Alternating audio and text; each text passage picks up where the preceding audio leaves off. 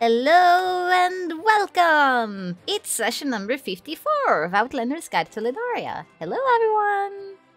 Hello. Welcome back to your doom. the tr- tragedy that is your adventuring life in my hands. Decided- Everything is is fine. Ah, Yeah. Here's the table. We have returned once again. This time we managed to play only one week after the previous session. That's. Ah. And Easter is coming. Oh no. Our streak. Someday we'll hit Oh. double digits. someday, someday. Well, well, well, well, well, well. Um, you guys can see it, but I'm turning my camera around. I'm zooming in on Said's side of the table in a threatening manner. Oh no. Not me, not me. I Everyone's choose you. okay. Fine. I Uh, know yeah, you so- love it. no, I, I love doing the recap. It's just sadly this week I didn't come up with any ideas. I just got lost in uh, the sea of ideas. So I only have a plain little written recap that I'm going to voice to everyone today. So wow. are we ready? you are not Yeah. always without fail going above and beyond? Surprise, surprise! Well, as I like to say, I'll allow it. Wonderful. Thank you. Thank you. All right. So let us travel back to the distant past of session 53. What happened then? What happened there? First, there was a vision. A large cube projections with runes. A very fancy centerpiece in the room, you might say, as a tall purplish blue figure in shimmering silks. You know, with all these visitors hanging around him, there must be some sort of celebrity or party plan or something something's going on. Very, very charismatic person. But everyone seems kind of afraid and confused about everything, so maybe the party's not that great after all. There's not even snacks here, so I don't know what he's doing. Um, anyway, back in the tower, Mr. Slithers, the never ending hunger, he's just hanging out in the bathhouse, just having a grand old time, you know?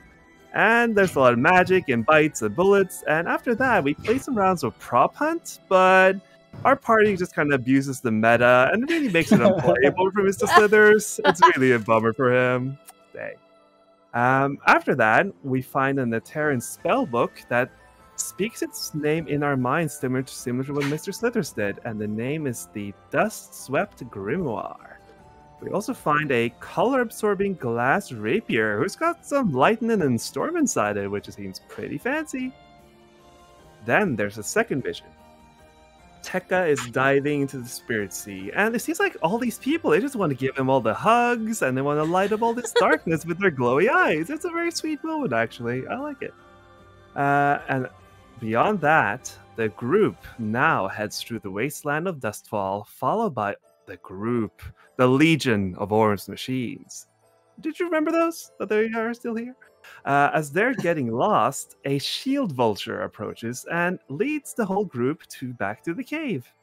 There's actually a lot of these vultures, and apparently they've been watching us for a while now. That was the lingering feeling uh, that Brooke was sensing. What a bunch of nosy netties, huh? Just watching over us. Anyway, seems Frida and Murderclaw have built a little hut while we're waiting, waiting about, and they've been taking care of the horses for Room and Duchess in the meanwhile. And then, hooray! Reunitings abound, but we still don't know where Talix is. I hope he's okay. Uh, also, hey, everyone, just making sure you know, uh, Pip transformed into like this megalith elephant. That happened. That was a thing that happened. That's really cool. Uh, and then Orange Machine Snake forms a little archway for us, so the, the rock slide doesn't keep happening. And then we can enter the now submerged and flooded cave. Squeak and Pontifex dies down, noticing the now broken crystal barrier, a missing necrotic dragon, oh no, and a few pockets of air that maybe we'll make, be able to make use of, I hope. Uh, reaching and now entirely submerged Narashk, the undead dragon Cloudfall is swimming around, having a grand old time. And as they move past the skull distilling dread, Pontifex now comes face to face with the spooky dragon. What's gonna happen next? Ah! oh And then a third vision.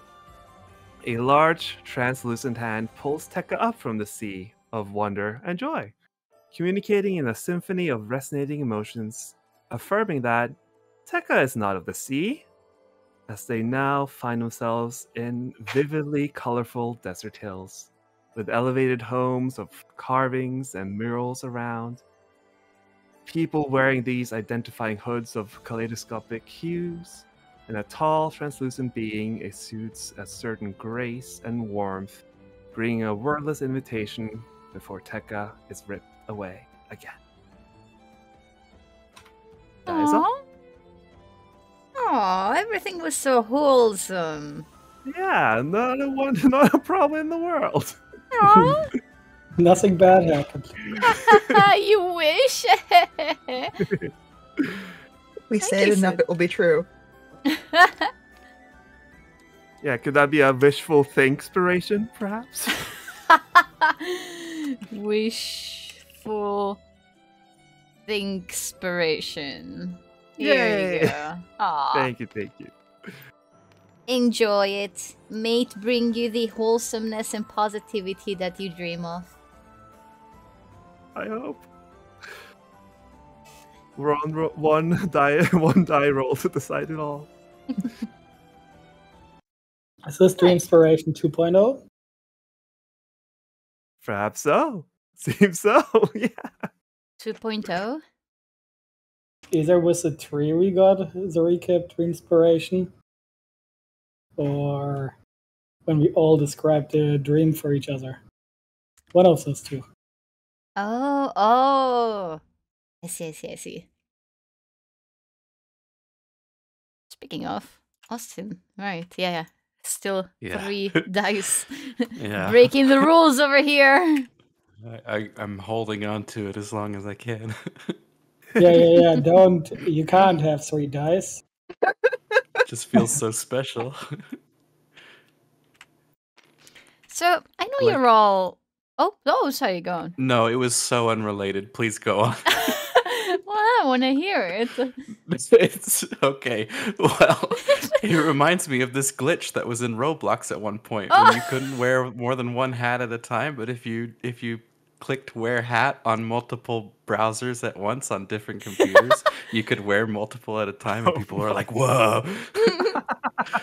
That's Amazing. that's kind of crazy that we share similar experiences. Like I used to play this this text-based role-playing game as a kid, and like I also figured out you could have multiple tabs open and effectively perform multiple actions at once. Mm. Uh, it's, it's a crafty. Yep. Just I just wanted I wanted better weapons. so, um, I know you're all dying to find out how Pontifex dies today, Yeah. but before we do, Eka, Oh, when you open your eyes, you recognize your surroundings. You've previously spent some time, against your will, in this very building. A large house, homely, full of food and books, that would be an entirely normal place if not for the fact that it was actually designed to be a fancy prison. You try to sit up on the living room's floor and you realize just how sore your body is. Your wrists and ankles are heavy with chains, and there are blurry figures all around you that you're trying your best to bring into focus. There's two of them standing right in front of you. Um, the closest one, you, after a few seconds, manage to recognize. During your previous interactions with Tarsho, you had noticed dirt under his fingernails and on his shoes, as if he had been plucked right out of his garden before being forced to translate for you. But right now he's even worse off, just covered in this grey mud up to his hips. And that's when you realize that you yourself are actually sitting down in half a foot of water. The house is flooding. Tarsho in Esenfair speaks to you as soon as he realizes you're awake, and he says, simply, quickly, We need your help. Next to him, there's Kalvik, whispering his demands into Tarsho's ear. He too is covered in that silvery mud that now completely conceals the original color of his robes. It makes him look older than he actually is. His uh, hair and beard just gray with dust, though his vox managed to shine through. His clothes are torn here, torn here and there, and his eyes are sunken and tired. Translating for him, Tarsho says, Make the rain stop. We will do anything. I cannot stop this water. Tarsho hesitates before translating, uh, as if putting into words what you're saying would uh, uh, make it real. But turns over, speaks, and then he and Kalvik just exchange this long, silent gaze. Tarsho turns back, he confirms with you. Nothing? Nothing you can do. No. Nothing more than you. Kalvik speaks again and leaves in a hurry. And Tarsho gulps before translating his final remark to you. Then we evacuate.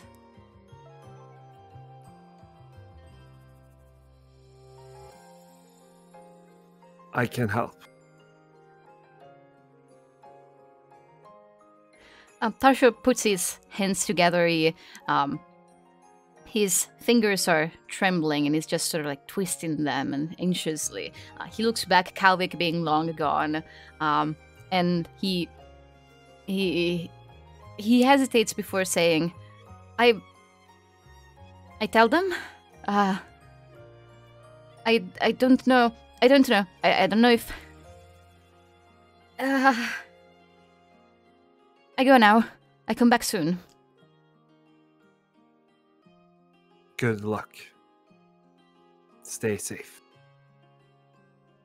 Very awkwardly, uh, he leaves. Uh, the, the you're you're not left alone in, in the house though. There are a few there are a few guards that are standing not outside of the house this time, but on both sides of the entrance in in the living room. They're with you. Uh, they are silent, but you hear something not from them, but um, from behind you. A sound of chains uh, other than your own. You twist around a little bit, trying to uh, find the source of the noise, and you find that there is another prisoner uh, with you, currently adjusting his position. Uh, his diamond box shines beautiful in the candlelight as he looks up at you, and despite being visibly in pain, he smiles kindly at you. It looks like Potrokash is now being held in the same place his daughter was. I am sorry.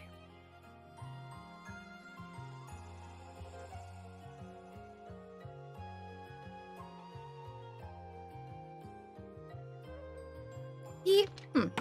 Ow! Sorry, I knocked over my bottle. That's probably very loud. Um. Making eye contact with you, he uh, there is this long uh, silence that follows, and he seems to be trying very hard to read your expression where he cannot uh, uh, understand your words. And you feel like this moment of, of connection, like he he kind of got it, or he, he he understood enough.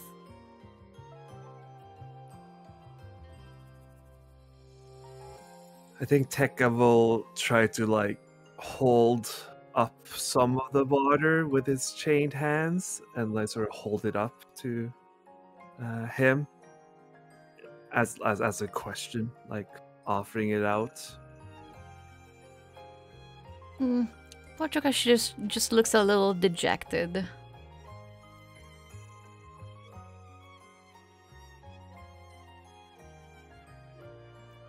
Are there windows? Can can we see outside from this angle? Uh yes, the, from from where you are, Uh, since the house is in the lowest part of Narashk, uh, from sitting down and looking up out of the windows, you would see the rain and also the buildings that are that are connected by bridges further up ahead. And uh, there is the, the rain reduces the visibility a little bit, uh, but there is lots and lots of movement outside.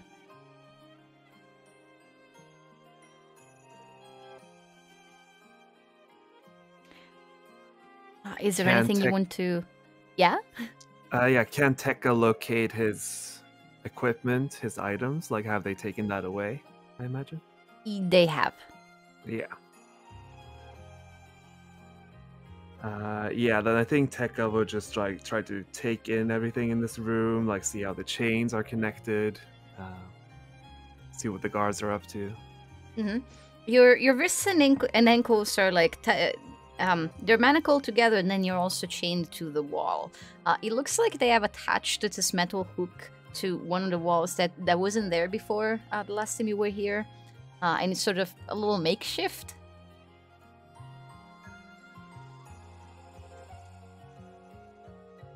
Uh, the same applies to Potrakash. Hmm.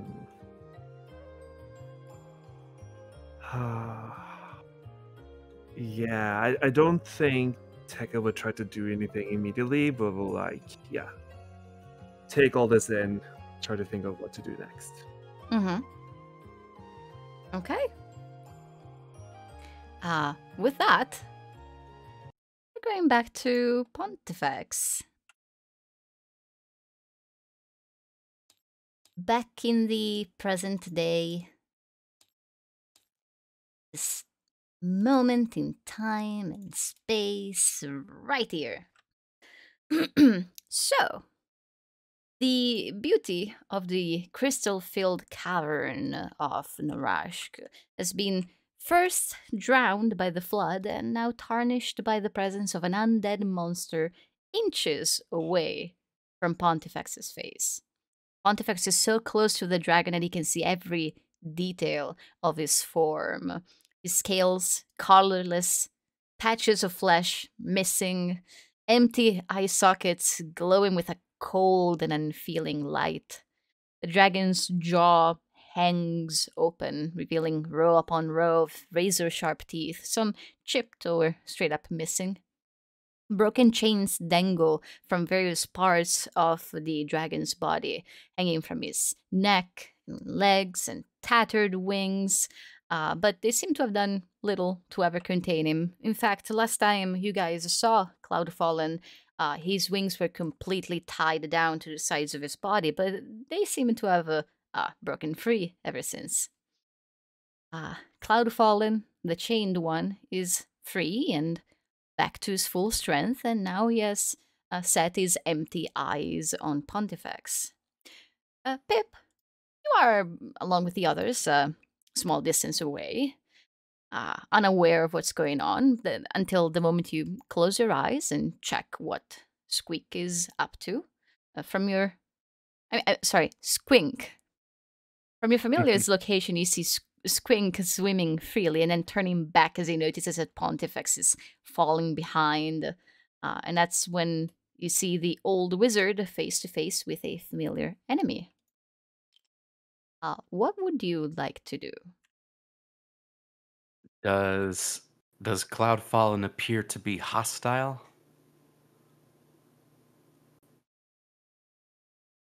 Hmm. Well, let's have an insight check uh, from Pip. And then Yay. I'll answer.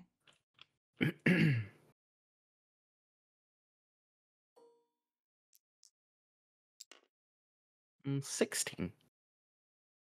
Cloudfallen doesn't quite have the same body language that you would expect from other creatures, animals. Um, besides the fact that he's moving, he really just is, uh, resembles this corpse, this shambling mound of bones and flesh.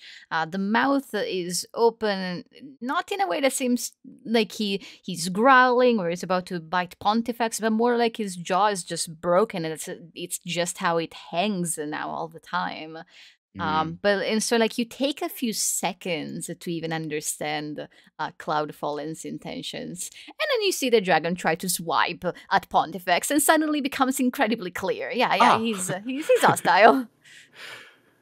Right. So uh, Squink is going to try and close the distance as quick as possible, and uh, um, as fast as he can, try and wrap a tentacle around Cloudfallen's leg, he wants just to wrap to in. touch him. Okay. Um, I think that would be quite easy to do because you have Squink has a swim speed and the Cloudfallen doesn't. Uh, and he he's big compared to Squink. Uh, you can you can touch him. All right. Um, so upon wrapping a tentacle around one of the legs, uh, Pip, looking through Squink's uh, vision, is going to cast Bestow Curse through Squink. Uh, so out through uh, his tentacle um, is going to. Uh, well, we'll just try and see if this works. Cast Bestow Curse. Uh, he'll have to make a Wisdom saving throw. Okay.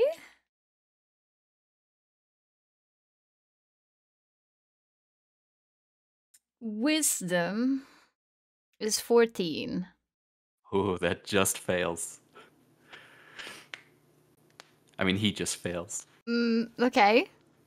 Um, so bestow curse, I can choose a number of like standard options that it gives me, but it also says I can choose an alternative curse effect, but it should be no more powerful than those described above. So.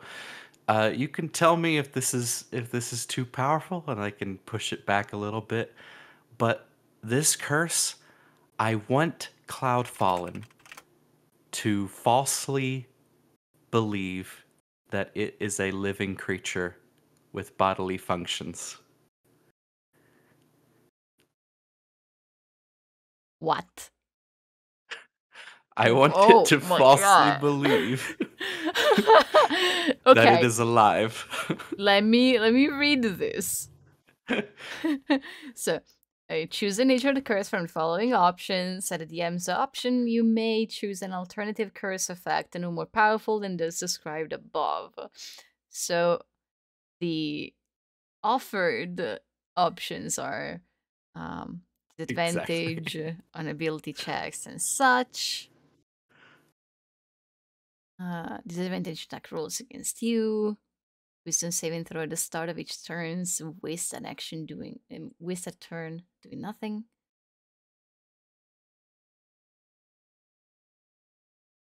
Ah.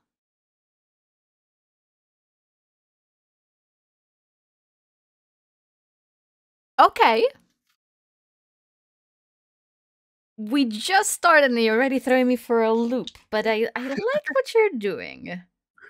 Um, how does Pip think of that?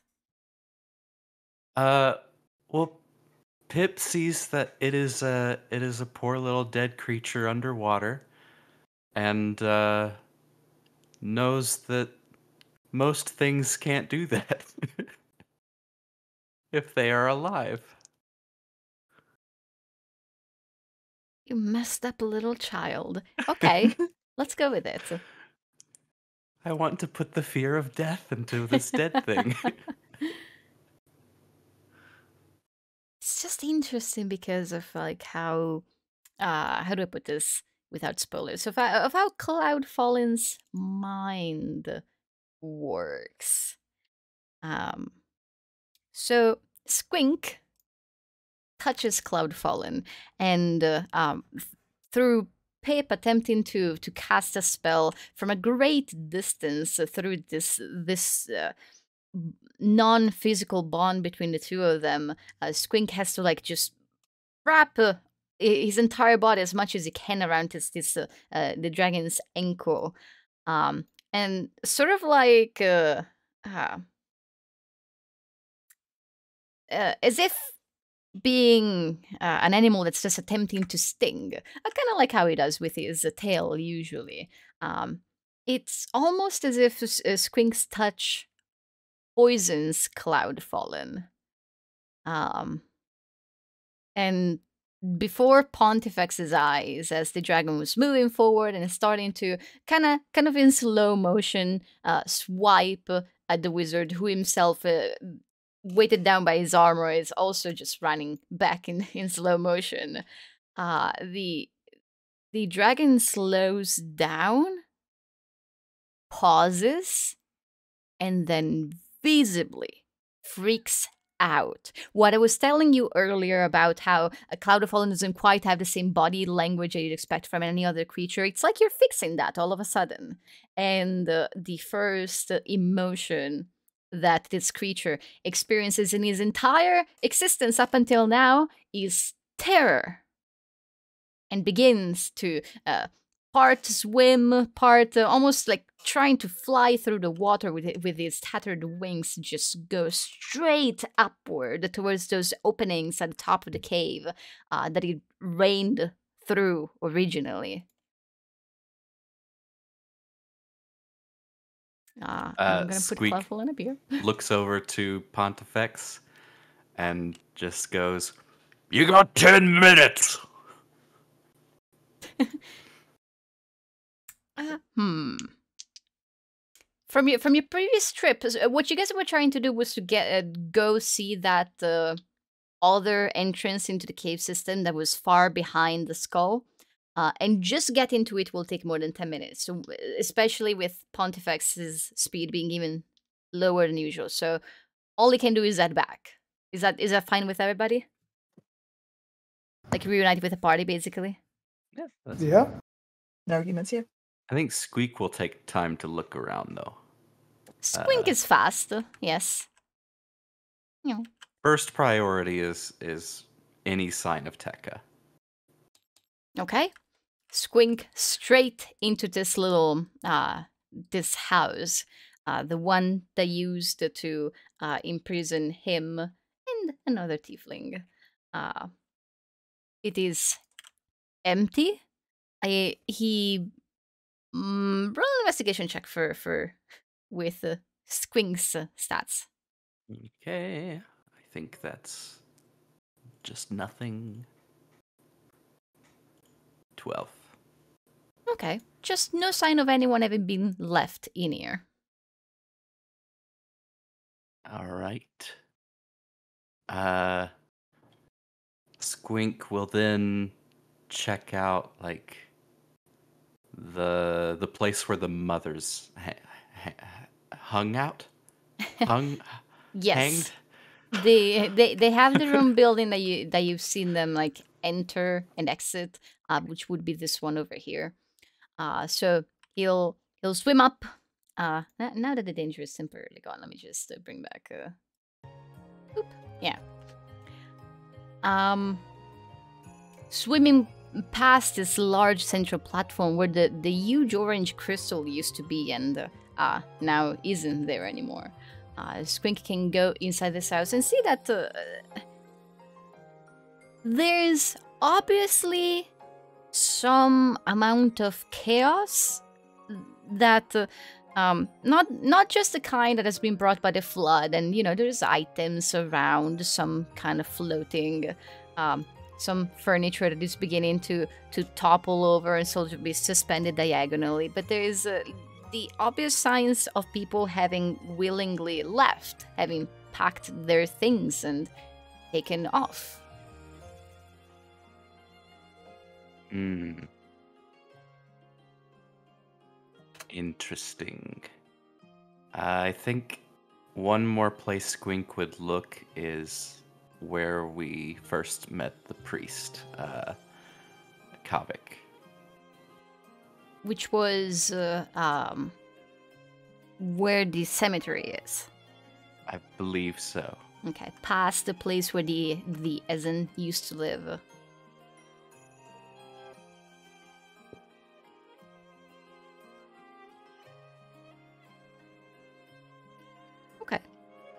Trying to a get a sense of of where people may have gone and if there's anything anything interesting that was left behind, he may pick those up.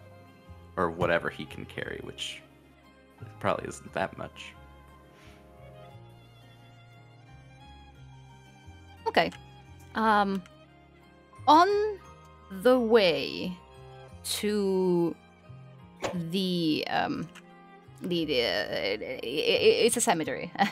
uh, on the way there, he would pass through this area, um, and he would notice that some of the flowers uh, in this garden have been rearranged uh, to form an arrow that points almost exactly in the direction that Squeak is heading, um, which is the the cemetery is north. The north. The arrow points a little bit more northeast.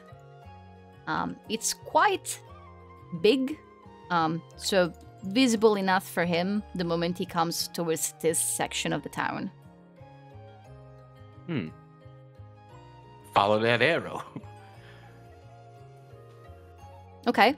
Um, I'll. He'll begin swimming that way, and there would come a moment where five minutes would have passed, uh, compared to the, the casting of the spell. And I just need to know how far, like if he wants to keep going. He'll keep going because Pip can always snap him back if something goes wrong. Okay. Um, so Squeak is on a journey. Uh, it's going to be a little while. Pontifex would make it back to the others before Squeak finds what he's looking for.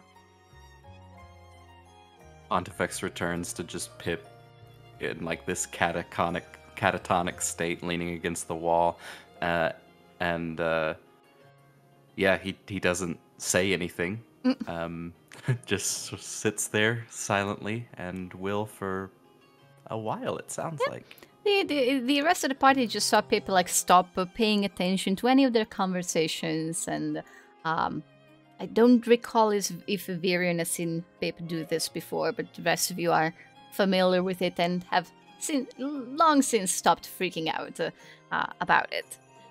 Um, right now, after in the time during after Pontifex left, uh, that's when Freda uh, brings out brings up something that she didn't think was particularly worth mentioning. Uh, there were many other things you guys have talked about ever since you, you were reunited, but that's when she begins to speak of the days when, for the first time ever since she and Devamia have got have reached Dustfall, uh, she has seen rain.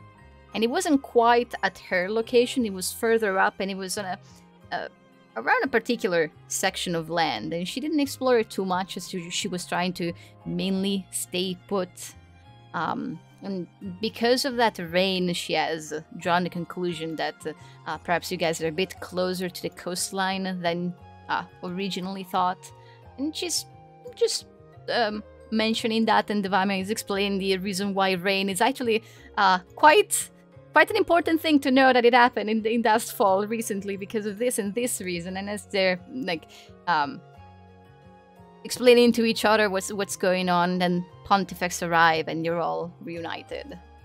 Um, so, what now?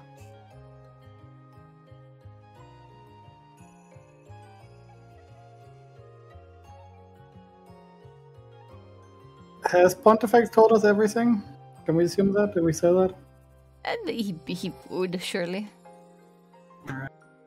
Pip back out of stream state. Sorry, can you repeat that? Is Pip back from looking through Squink's eyes? No. Uh, Hmm. un- unless he wants to, but like this. Squeak is going to be gone for a while.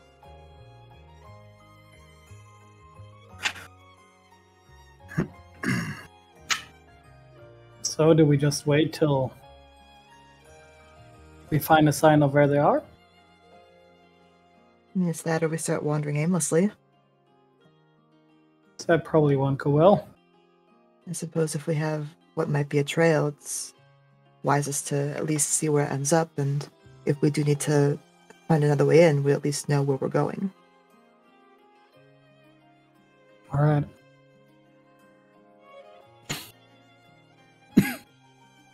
so we let Squeak do his thing and wait till we find something. I think so.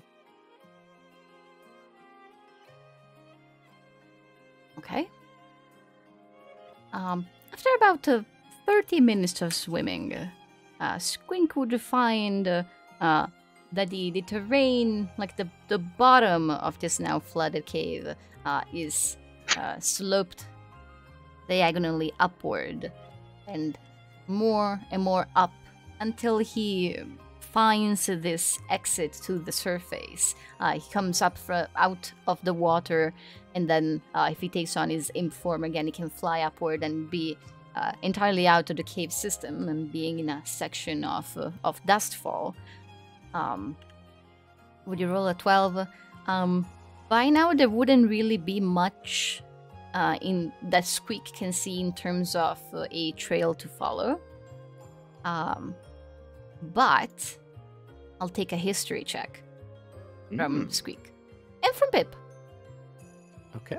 both of them with their respective stat blocks. okay. Uh, here is Squeaks.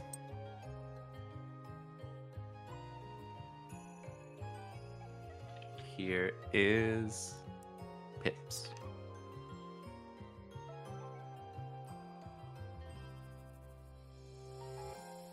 Okay.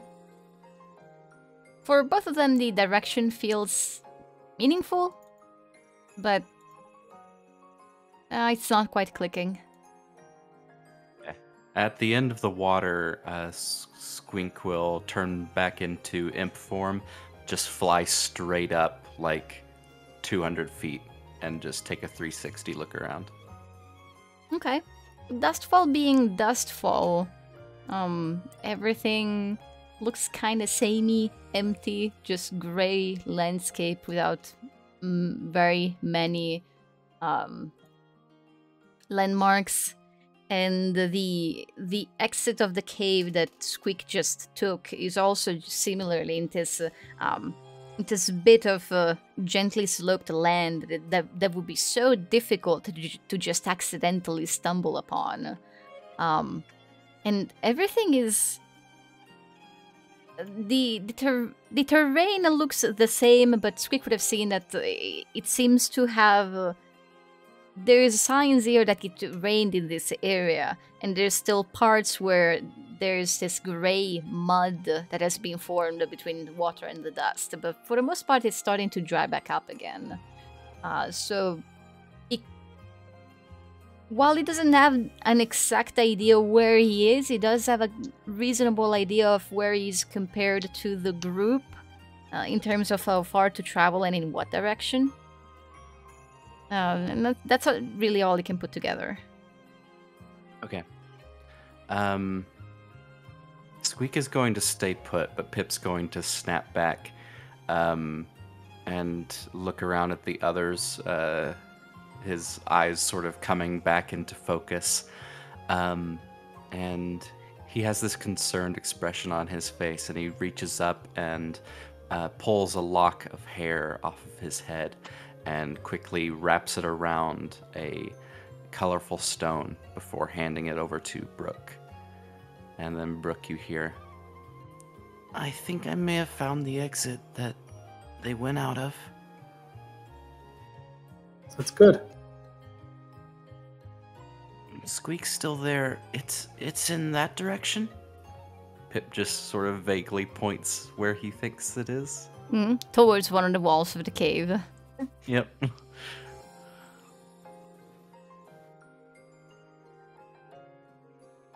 All right. So we're just gone there. Okay. I'll forward the information to the others.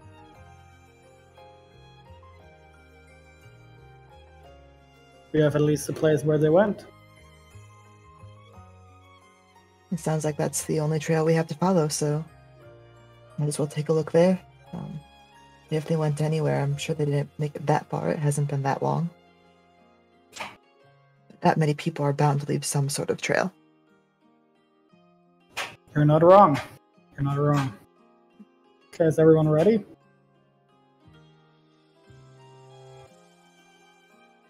as I could ever be. All right. Okay.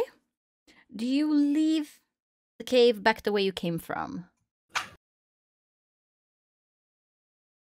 Uh, unless there's, I don't think there's another option unless we want to go swimming. Mm -hmm. And I feel all things considered, that might not be the wisest decision. Yeah, yeah, back the way I came. The back the way we came. I think. Okay. Back out, uh, finding the place where, um, where Freda and your horses had been waiting for you for about a week. Uh, you return outside. If I remember correctly, it was nighttime by now. Because you I, bel- I, I believe you found Freda around sunset, and there were there was there was talks about taking a long rest, but you decided to dig up the cave and go in hmm. right away. Sounds Mhm. right. Um, so you want to pursue? Do you want to rest?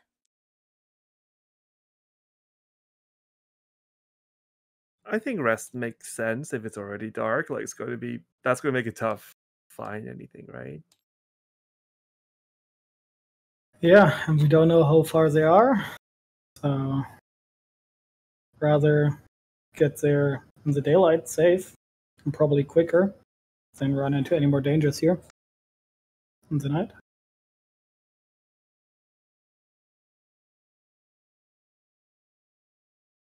I think if we're resting, Virion would want to, if everyone else is okay with it, see if she can go scout around and see if she can figure out where Squeak ended up. So she doesn't have to rest for quite as long. Do you have any way to let us know if you're in danger? Nope. Squeak would Sounds Give- like a good idea. Squeak would give to you the um the token that he had given Brooke. Just sort of Hmm. like pat Brooke and do the give it here motion. Oh yeah. Gives it. and then would hold it out to Virion. She'll take it. Hi. Hello, I don't think I'll ever get used to this. No one does. Um, you won't be able to talk back to me with that, but I will check in in um in a few hours. If I'm not back in, I- won't go too far. If I'm not back in three or four hours, then something bad definitely happened. Or if you hear gunshots, then something bad also definitely happened. If you do make it to Squeak, I'll be able to know. Okay. I just figure if I can get a head start, maybe find a good path to go, figure out where exactly we're going, it'll give us an edge in the morning. Yeah. I won't, I won't be gone too long. And if things seem dodgy, I'll head back. All Thank right. you. stay- oh. That's fine. I'll, I'll be back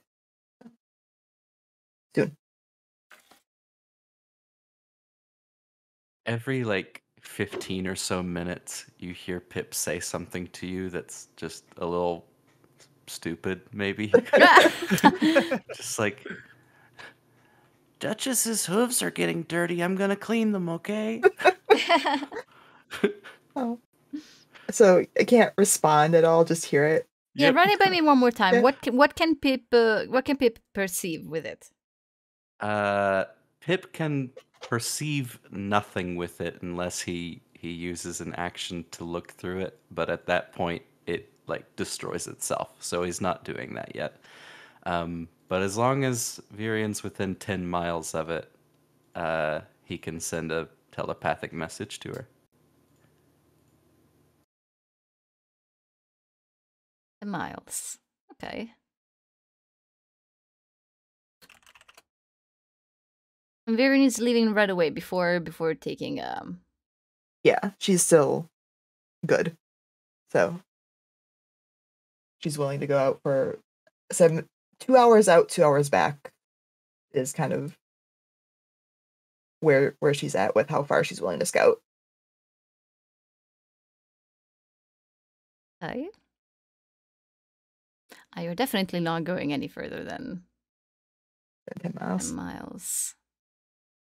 The the goal is just to see if she can find a path to meet up with where Squeak is. All right. Then uh, everybody else sets up the tower, um, which uh, Freda seems to be quite happy to be to be resting in instead of a little drafty makeshift hut. Um, and the horses are happy to be back with people they uh, they know. Um, and uh, yeah, you guys are preparing to rest while uh, well, Va- Valia, well, Virion, Ron Carter. Uh, well, Virion takes off. Virion, uh, roll a stealth, uh, not stealth, survival check uh, with advantage because you have a general direction to go. Okay. I'm good at these.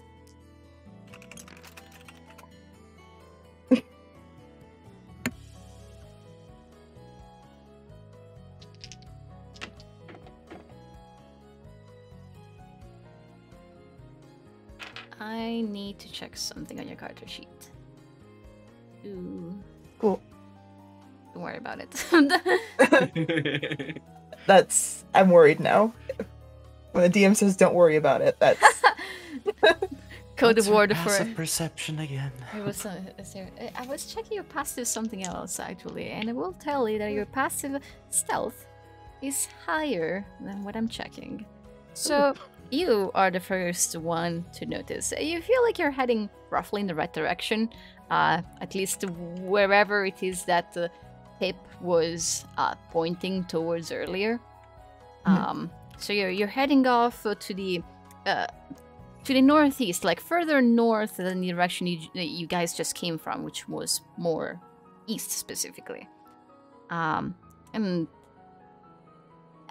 by the time this happens, you have yet to find like a trail or to find Squeak, but you do uh, see movement. Uh, partially thanks to your to your dark vision uh, partially you just happen to be on like a higher part of terrain compared to, to this uh, and like you, uh, you you climb up and you look around and then you back away and you kneel down and you double check what you just saw um just more uh, carefully and quietly and sure enough um off in the distance, not not very far compared to where you are, just further down, like vertically, uh, is a dragon, and uh, um, the, this this dragon is moving around in this weird kind of shambling sort of uh, um, uh, walking. Uh, doesn't seem to be flying and doesn't seem capable of flight. There's uh, it, its wings are broken and tattered, and there's chains that are just dangling from his body but aren't really tied to anything. Um, Pontifex described this to you earlier. It, it seems that there is an undead dragon on the surface that is um, pretty much halfway between you and Squeak. Uh, and Uh-huh. you have spotted him uh, far before he seems to, have, to even have a chance of uh, either hearing or, or seeing or smelling you out. we s- are we are out of there. We're going back.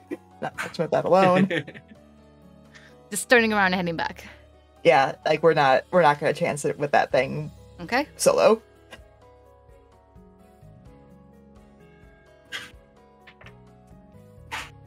Um. Uh, do, do, do, do, do, I guess that's. Uh, does this happen? Nope. All right. Make it back. Right. Uh, the others are probably most of them sleeping. Uh, I'm, I'm assuming you guys set up like a, a a a watch like you usually do, so there might be one person awake. Let, let's say it's Brooke. By the time that uh, Vivian returns. I think she would when she get back, she would just immediately find whoever was awake and just "Hmm, this uh, trouble that I don't think we were quite expecting. That um, dragon you are that you did or did not defeat is wandering around regardless.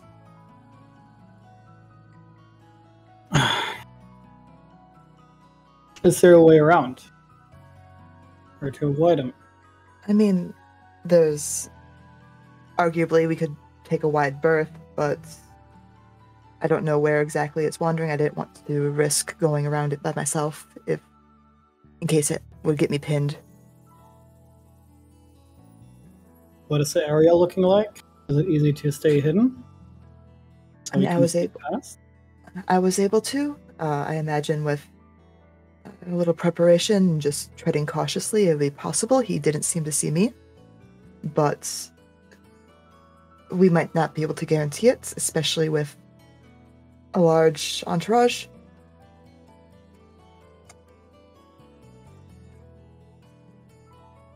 So I think we have like two choices then. Either we try to sneak, right? Or we make I don't know, we try to bait it somewhere else and then go forward while it's gone or distract it. I mean, I suppose either of those. I think it depends on how much time you're willing to spend on it. Because who knows how wide it's going to wander, how far its, I suppose its territory spreads. If we want to sneak past it, I'm sure that will be the quicker route. If we want to avoid it, we may have to go pretty far. So the quicker route, I assume. Quicker Okay. will give them less of a chance to keep moving and keep moving to a point where we can no longer track them.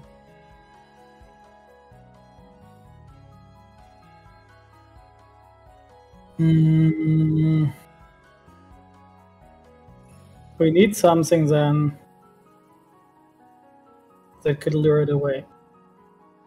If it's receptive to sounds or anything like that, maybe it would go there. And we can use that. I mean, you face this thing. I have only seen it this one time now. You know its uh, actions and reactions and senses better than I do. If you think that might work, it might be worth a shot just to catch its attention for long enough to slip by.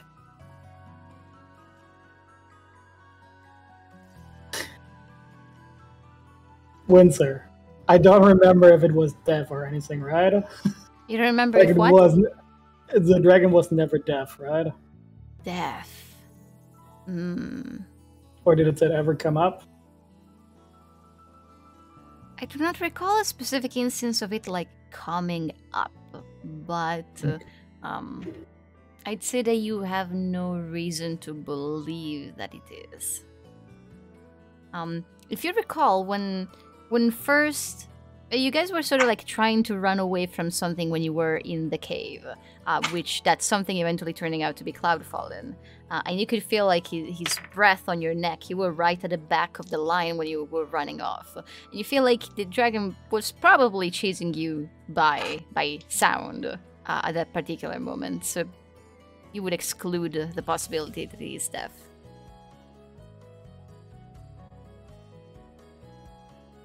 Hmm. All right. So let's try. Uh, do we wake the others up, or let them rest? Let them rest. Uh, we'll need to be in best form in the morning. All right. Then, if you have any ideas on how to distract that thing, let us gather tomorrow. They'll think on it while I rest. Yeah, and until then, rest. Of course. I mean, I'll be around if you need me. I'm not the best conversationalist while meditating, but I can still respond. All right. She'll nod and then go find a place to settle in to get her four hours in. I think Brooke would just wait out the rest of his shift. Staying awake, just trying to think of something to come up with till he wakes the next person.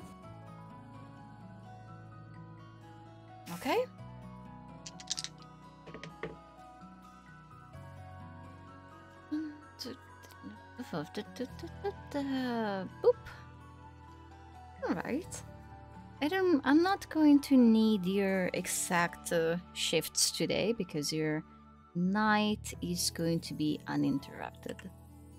Uh, so go ahead and take your long rest. Bing. Once you're Uh, all done, I'm clicking the button for Pontifex. Click, click.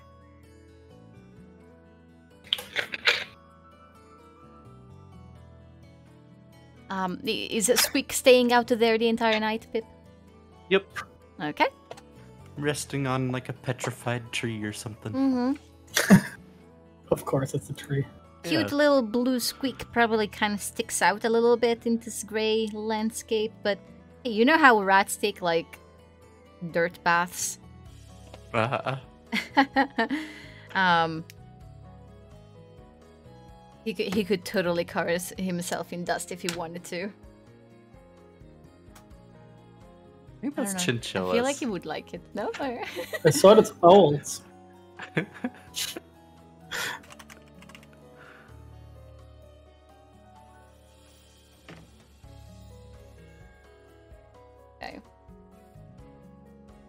Hope you have a nice dreamless sleep. nice. Uh, it's relevant. Um, Nothing to worry about. um, so Pip is in the kitchen. Uh, he's he's made some snacks for everybody. Um, they look dubious at best. Uh, and he's also laid out a bunch of stones on the countertop um, and has sprinkled some flour over them and is chanting some sort of weird magic uh, while you all eat, which is a little disconcerting. Um, but is casting augury and a- asking the stones uh, if that if they uh, continue in the direction. Hmm. The plan is we continue in the direction that Virion is going in order to find Tekka. Seeing what the stones say about that. okay. You watch the rocks roll around like marbles, animated by their own little will. Um, and as they move and they flip over and rearrange themselves in various patterns that they, they would mean nothing to anyone except to you. Uh, the the message, the uh, the fate that is revealed uh, to your eyes and eyes alone is uh, both weal and woe. Hmm. Pip quietly uh, plucks the stones off of the table, wipes them off on his shirt, and starts putting them back in his pouch. And elaborates no further. Refuses to elaborate.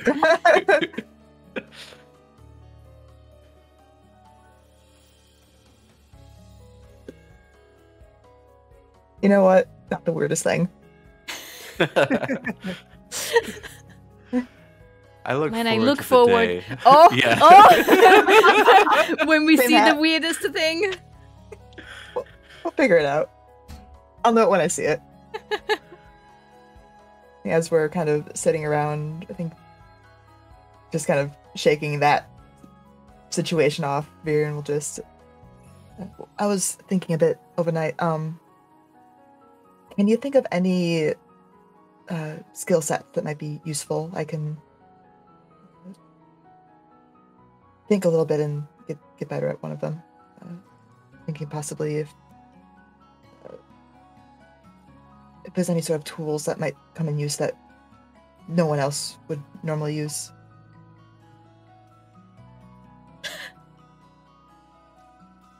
Ape is holding up a knife. What do you have there? a Knife.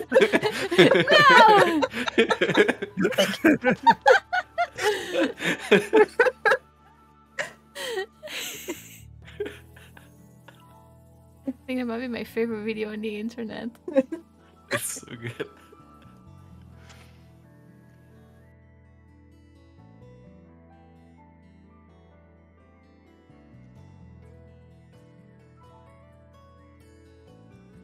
Basically, I can swap one of my tool proficiencies. So if anyone can think of anything that would be particularly useful, I'll grab it.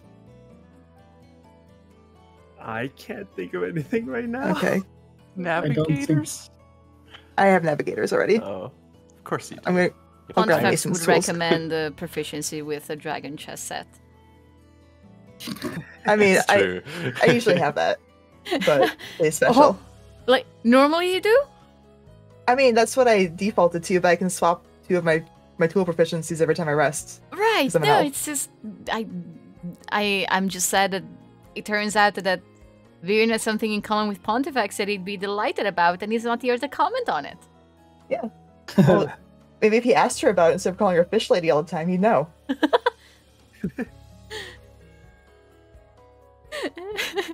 Fair.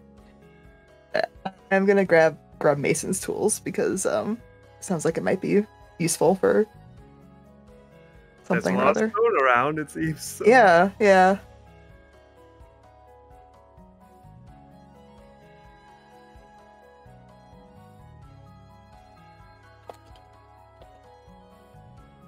And then I'll figure out a better way to swap this on my character sheet rather than just renaming what's already on there. That's fine. Whoops.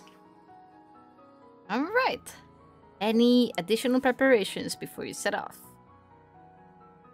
Mhm.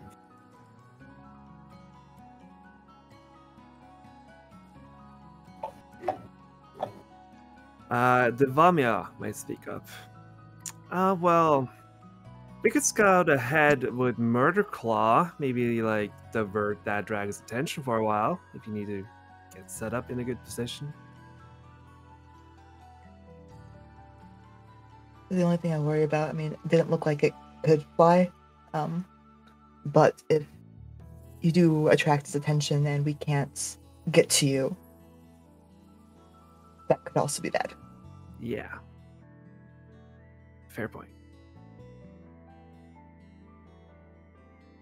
I'm not saying it's not the a good idea to keep in the back pocket, but I don't think that should be our first go. Wait, don't we have like 50 machines with us who can do the job for us? You have one, two, three, four, five, six left. Um, I suppose if you're all done with the cave, the the me- giant mechanical snake that was keeping it open could rejoin you. So seven. Get some of the machines to attack it and draw it away. And then while they're fighting, leave. That could work. Actually, sounds like a pretty good plan. And Thank if we you. sacrifice anything, might as well be the machines. Your constructs would just stand there, Didn't unamused. hurt. and worst case, if it does notice us, what's the uh, the worst case scenario plan? The if we're spotted and we need to either fight or flee, what do we do? Uh, we kill it, and then we need to keep it down, huh? Leave, sacrifice another one of our machines. keep punching on it. While we run.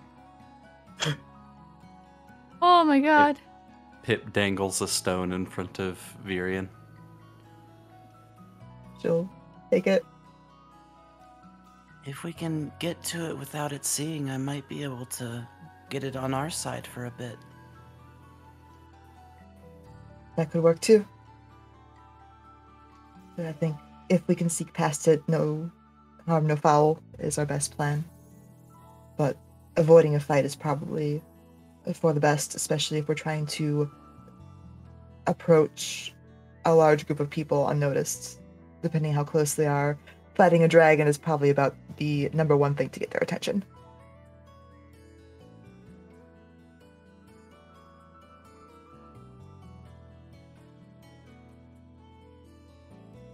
We sneak first. If it if it notices us, Pip can make friends with it, I suppose. And if that doesn't work, we fight. Yeah, send the machines in from a different way first, I'd say. I don't know. Yeah, just get its attention away from us for just a few minutes. Is probably all we need. Alright. How do we communicate this to the machines? But you could talk to them. Oh, I mean, I just assumed you have been. They've been just kind of following us around. yeah, they have. uh, That wasn't you, was it? Pip, you not the one telling them what to do? no, I think Orm told us what. Just gave them the command. I'll go to one of the machines. Yeah, Brooke, you stand up to this like enormous metal snake. All right. if you can hear me, you will approach the dragon from a different side. Attack it and then lure it away while we leave. All right? Go.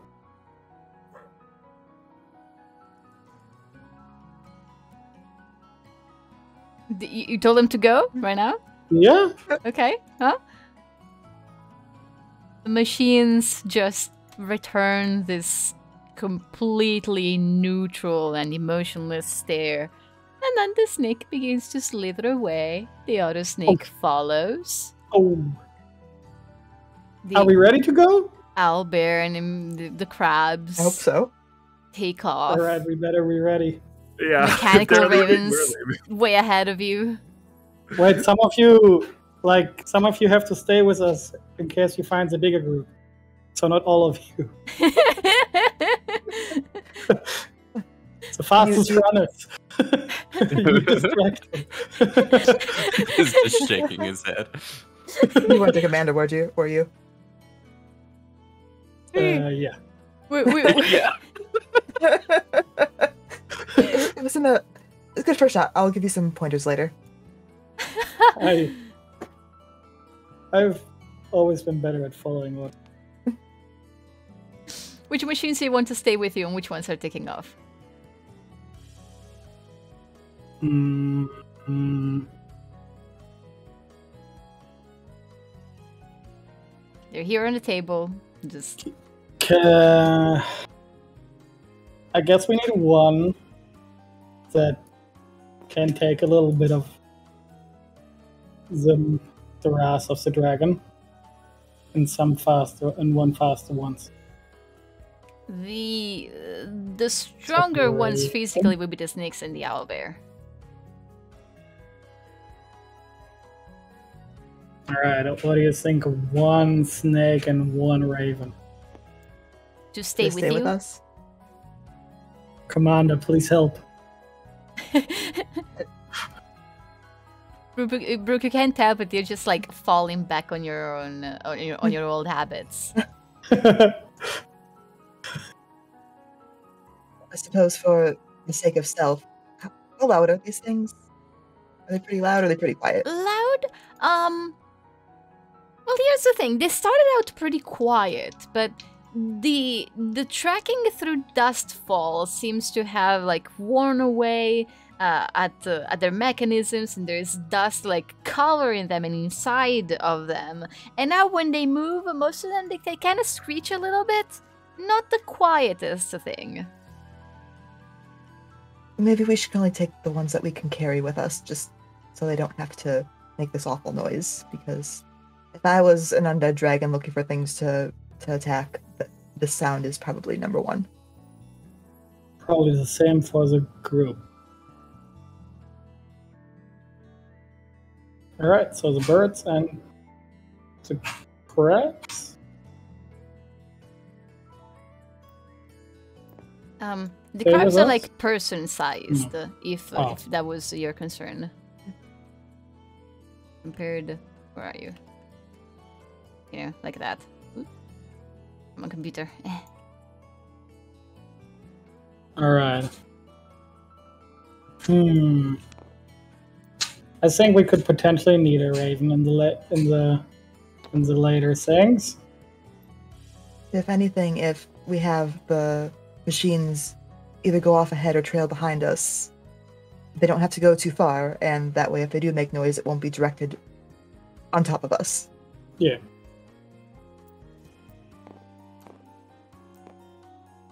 If we All send uh, maybe one of the snakes and uh, the owl bear to go in from one direction, the other, the crabs and the other snake can tag along with us at a distance, and we can bring the ravens without Alright. them making too much noise. Okay. So all bear and snake distract, and the rest follows us. Sounds The good. Owl bear and the s- snakes will be ahead and will be distracting the dragon, and the others go with you. No, I think one snake. One Hit one snake. snake, Okay. but keeping them probably, I don't know, like, what, 40, 50 feet ahead or behind us? Probably ahead. Or actually, probably behind. Yeah, at first behind. Yeah. At least until we pass the dragon. Enough where if they Right. make noise, they are the ones that get zeroed in on, not us. Yeah.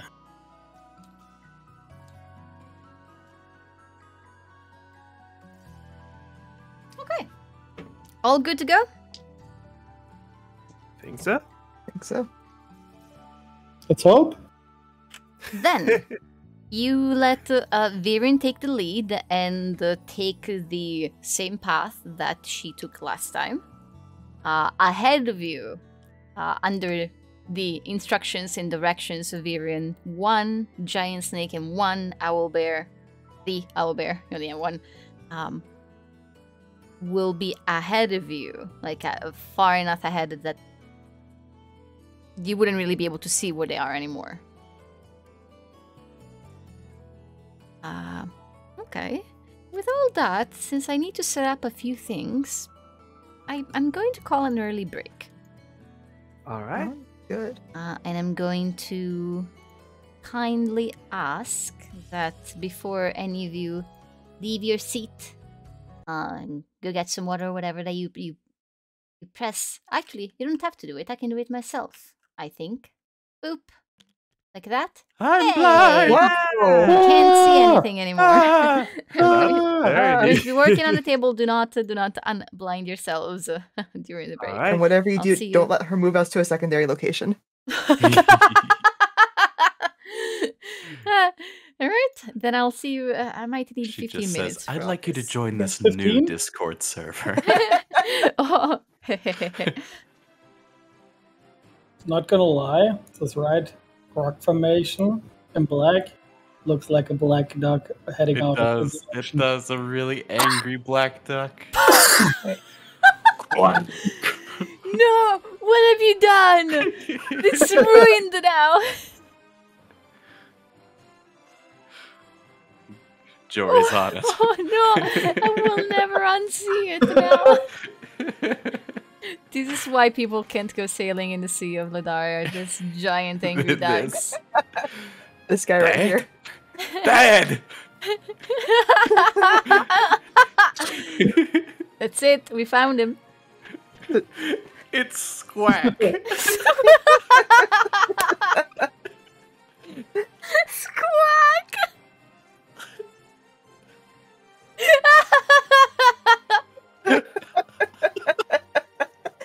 The campaign guys, GG. Game over. Let me write it down in my notes for the next session summary. Oh, Squeak's dad. Oh. you don't know fear until you hear my dad's horrible death quack.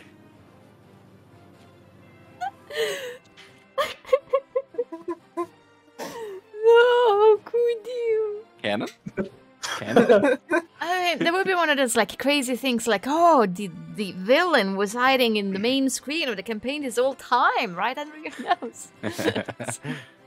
Attack!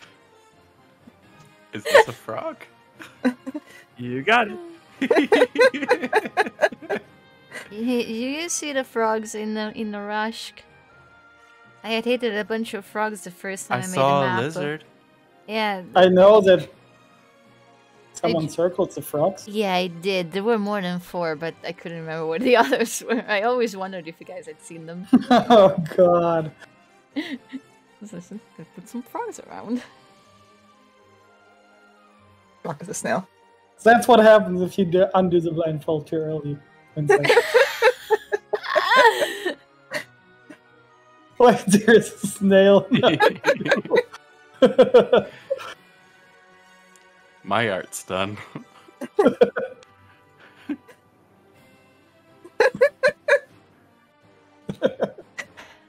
well, enough of that.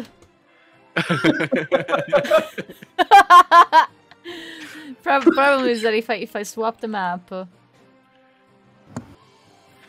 I'll, I'll erase the my John survive. no! I'll erase my own so you don't have to feel bad about it. I will leave my. Hey! Leave this specifically. Just this. it's staring into my soul. This is the expression of the snake when Brooke was talking to it.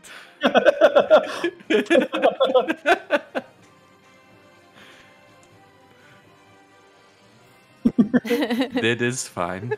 it's supposed to be an S, but Satisfied? Sid, are you fine? I'm fine. are you happy now? Always.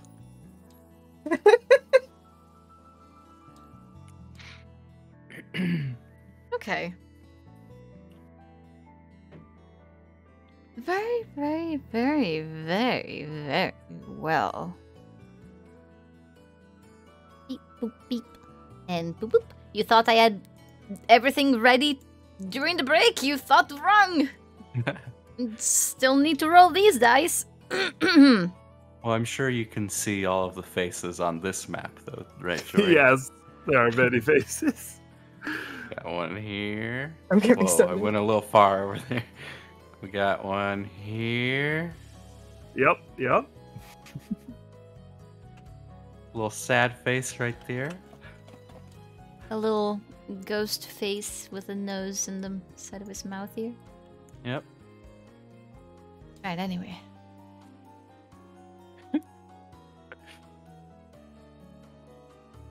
Alright. Oh, wait, is this a tiny version of this?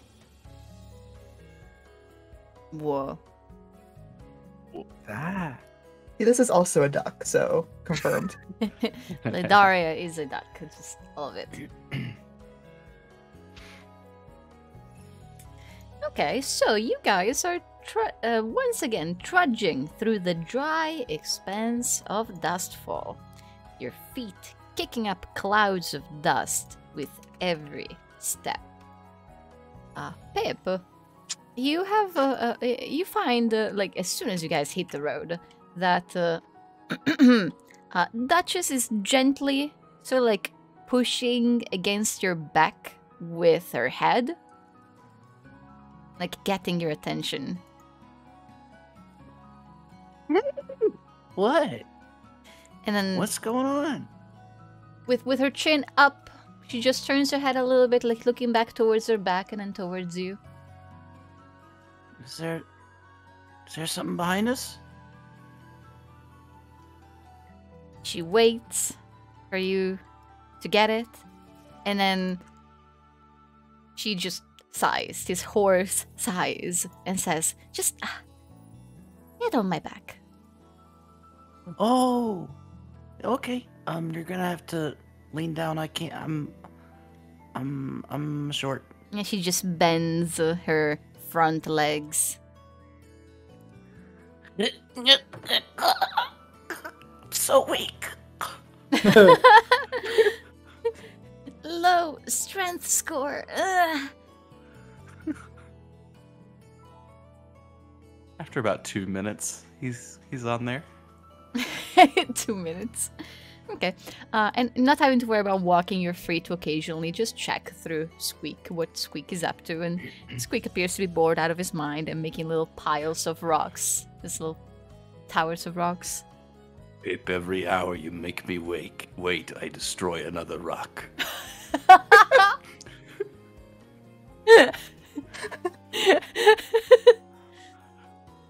no, horrible. He But just doesn't chucks that just them make more rocks? cave.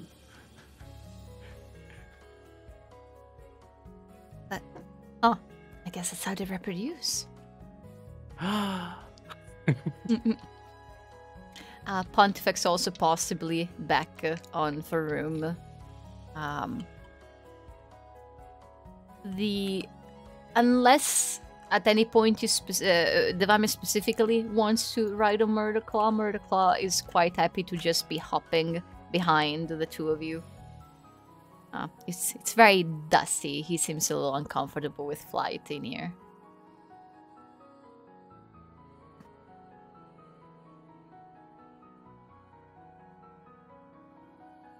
Uh, by the time you have roughly reached the area where Virion yesterday night you found an undead dragon, um, you see the uh, the the uh, glinting of metal uh, where the giant snake and the uh, mechanical owlbear have gotten before you have, uh, and the two machines are just there unharmed and uh, not in the company of a dragon.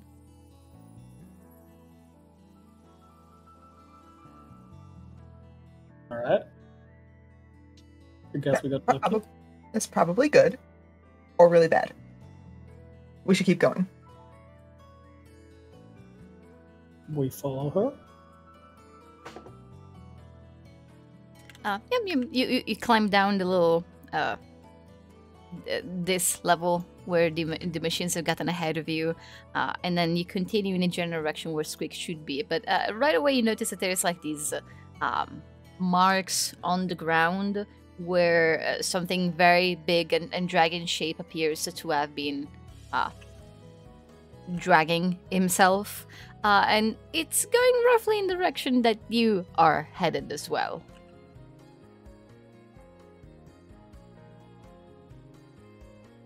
Looks like we're gonna have company no matter what. Uh, we should get going. Hopefully, it doesn't get to whoever we're trying to get to first, and we should just go. We should probably move a little bit quicker. All right. All right. I'll take a survival check from whoever is leading.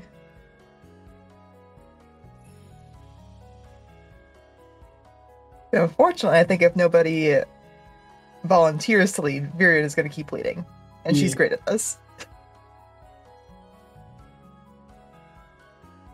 Do it. Do it. Let's go. Whoa, yeah. Wow. Put it to the counter. On the counter. Yeah. Number two. Turn my camera Yeah, around. Your me too. counters are like they read a twenty. I need to be upside Ooh. down. All right. Anyway. Uh, um. Well, with a with a natural twenty, um. Uh, Virion, uh, all you have as a direction was the one time underground when Pip pointed with his finger, uh, and you had to like just think about where you were underground uh, and compare to the surface and which cardinal direction it would correspond to, and just think of all the twists and turns that you had gone through. Uh, but you feel like you have like a very, very accurate uh, idea, not just of uh, the where Pip had pointed, but also where S- Squeak has like currently ended up and stopped. Um, so continuing follow, uh, following uh, your sense of direction, so you notice that this uh, trail that Cloud of Fallen has fallen has left behind uh, eventually is starting to curve away from where you are headed. Uh, the you have let the owlbear and the snake uh, go ahead of you once again, um, under your directions, and uh, uh, Squeak would eventually be joined by uh, the two of them first, and then eventually the rest of the party second. He's going to play dead. Squeak. Yeah. Just to see if anyone cares. okay. While Squeak is playing dead, I want the Vamia, Rook, and I'll roll for Pontifex. um, to roll also a survival check, specifically them. All right. I guess I made it history earlier. That's fine. Pontifex plus 8. 15. Uh, so, for Brooke, um, you don't even notice that that Squeak is playing dead because you're, you're you're just trying to look around at this spot that the Squeak has found. Um, and something is beginning to feel a little familiar. You realize actually, now that you think about it, now that you're here and looking around, it's hard to tell because of just how much the landscape looks the same everywhere you go. But it feels like you have walked through here once. Ah, a week ago. Uh, when you had first reached the, the cave. You had arrived like from from this general direction and then headed south. Uh, so while you haven't been retracing your steps just now, um, now you're at a spot that you recognize. Ooh. I think we've been here before. Hmm.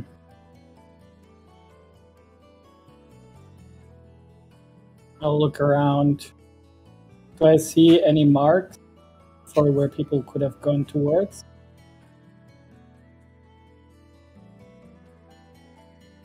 Um, you would, yes. Uh, Virion would be able to notice them pretty quickly as well. Uh, things that that Squeak had had missed. Uh, the the when he had been checking. Uh, visibility is a little better this morning. Uh, there's, there's less wind, less dust being kicked up, and uh, um, people have walked through here somewhat recently. A lot of uh, a lot of the trail uh, has already been covered up and blown off, but um, large crowds have definitely moved through here. All right. I think we have a trail. Is everyone ready to move on? I think so. Uh, Pip is is Squeak all right? He hasn't moved yet. After after Brooke says, "I think there's a trail," uh, Squeak immediately perks up and goes, Wait, what? What? I've been here for days and I didn't see a trail. you kidding me? It's actually it's, even- real, it's very obvious. It's right here. What? Oh, where'd that come from? Uh, That was not here uh, a day ago. Mm-mm. Or did anyone go past you? They must have been invisible. we'll have to keep an eye out for that, huh? Clearly, your eagle eyes are, are very sharp. Yeah. Brooke gives an embarrassed eyebrow. All right. Don't, don't worry. I'm sure you did your best. Mm-hmm.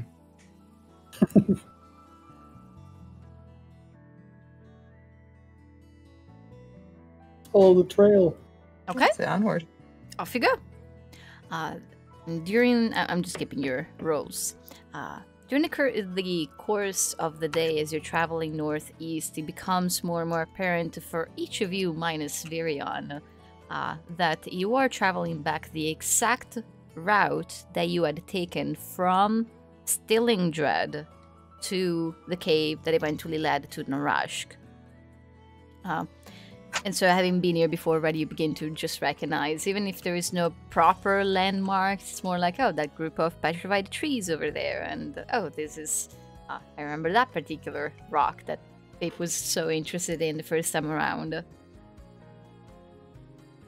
Uh, and while your day of travel is ultimately, um, for the most part, uneventful, um, just coming across the occasional animal that leaves you alone, um, it's towards sunset uh, that the trail that you've been following is joined back by the one left by Cloudfallen, both headed in the same direction. I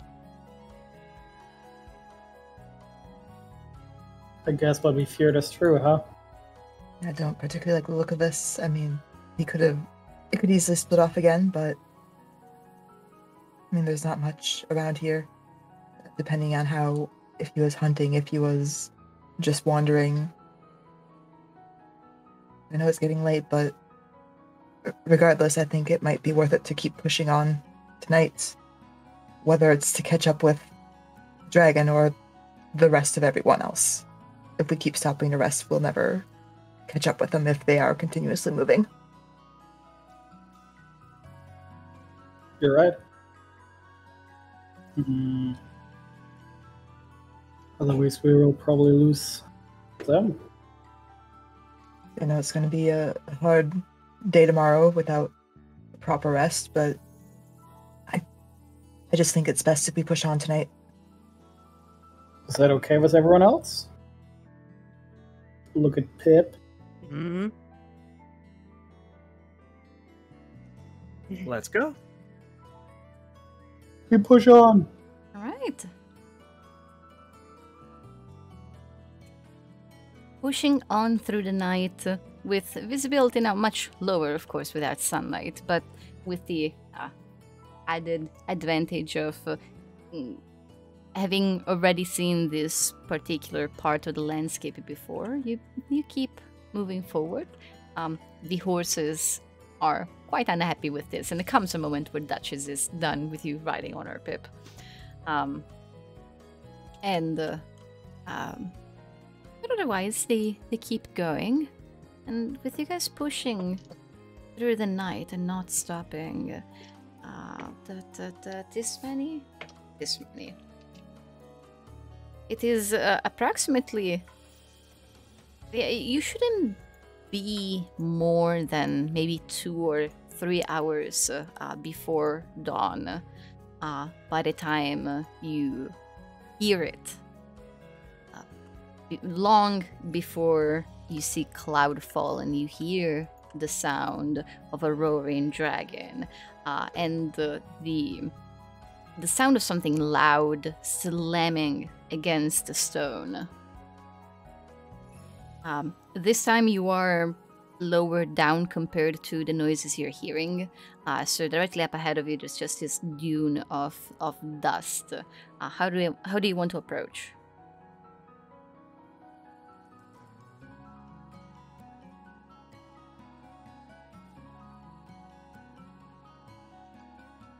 So it's we're hearing like Mm. like above us elevation wise. Yeah, Dragon sounds. yeah, like ahead of you and up this hill. Not above your heads. Yeah.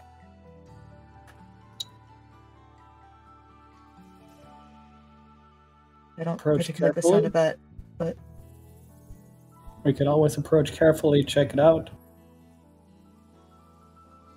I, I agree. Um, the fact that we hadn't heard it until now, I'm worried that it found something. Okay. I'll move forwards and as stealthily as possible. Likewise. I'll take stealth rules then.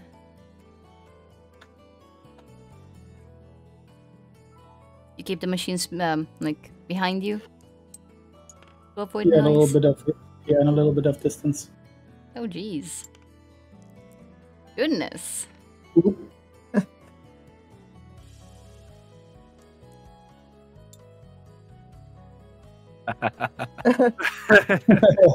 Wait. what? Who rolled a twenty and who rolled a one? Pip Who- was the 20, Squeak was the one. what, what happened to Squeak? Just complaining. Yeah. Squeak is tired. He shakes on dust He's just and like very loudly. a few days ago there was this one brief moment where he thought he was free and he wasn't and it's just really been dragging the mood down. He keeps being like sent off on these dangerous missions and uh was nearly eaten by a dragon already a couple of times. And yes he's just voicing out all of his annoyances at this moment not realizing what's going on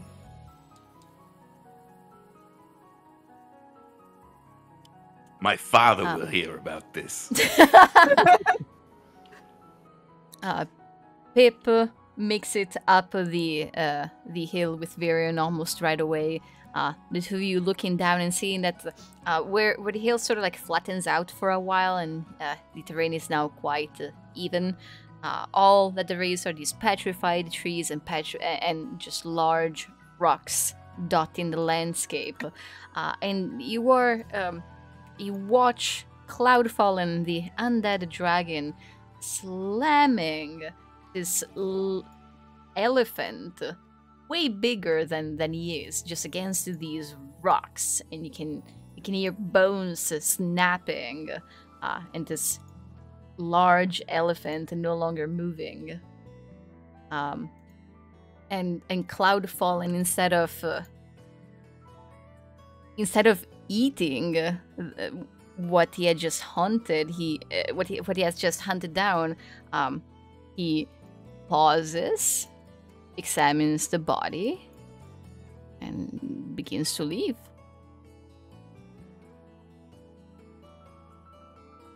That's horrible.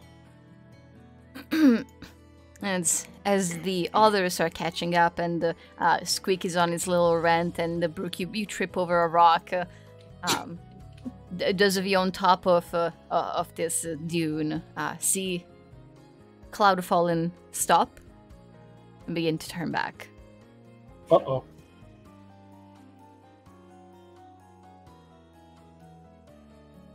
I think seeing that Vir- Virion would probably like, grab Hip and just like try to get out of sight. push And his head of down motion- Yeah, just and like motion behind him, just like you know, with a kill sign, just like uh uh uh, don't stay back. If I see that, I would do the same. Assuming they're ahead of me. Mm-hmm. Uh, like, yes, you, you were like, uh, uh, basically directly behind them. Uh, and you guys keep your head down, and you can hear in the dust just the heavy footsteps and the dragging of the chains as uh, a Cloudfallen is approaching your location.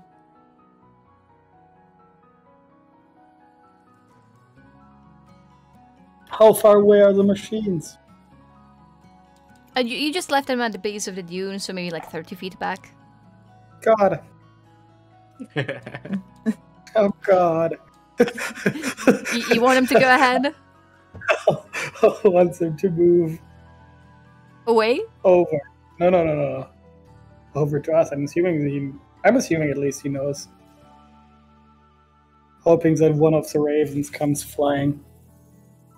When he passes past us, tell him to just distract him.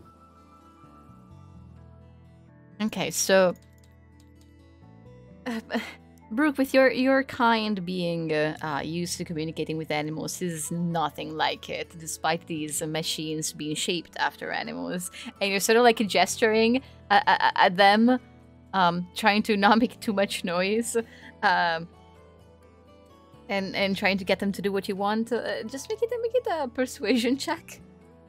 Mm.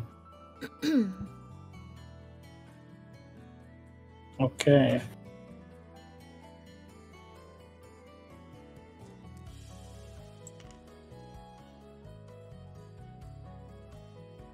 Okay. Um you think they got it? You see them just pause for a moment and then just charge directly past you. This loud um, uh, clanking of metal as they make their way up up the uh, the dune and they, they just kick up so much dust all over you and it goes in your eyes and your lungs. Uh, some of you can't help but cough as this happens. Uh, and uh, directly ahead of you, uh, a a battle between machines and undeath is uh, about to ensue. All right, that's our sign. Wait. Get the hell out of Dodge. Yeah. So you guys want to leave and let the machines handle this? Yes. Uh, yeah, I think so. Okay. Unless, Are you uh, uh, are you keeping one of the ravens or any of them? Or are they all going if I, in? I mean, vibe depends on what you allow with your with my persuasion roll. We should we should keep one raven. Yeah, if I can do that, I would like some to stay back, Okay. but I'm not sure if with a five. Yeah, that's perfectly fine. Uh, as the machines are like the big ones are all pushing past you, you're nearly knocked off your feet. Uh, you see the ravens catching up. They're flying low enough uh, that you call out to one of them, and you like hold up your your arm so that the the raven will land on it, and you are completely ignored.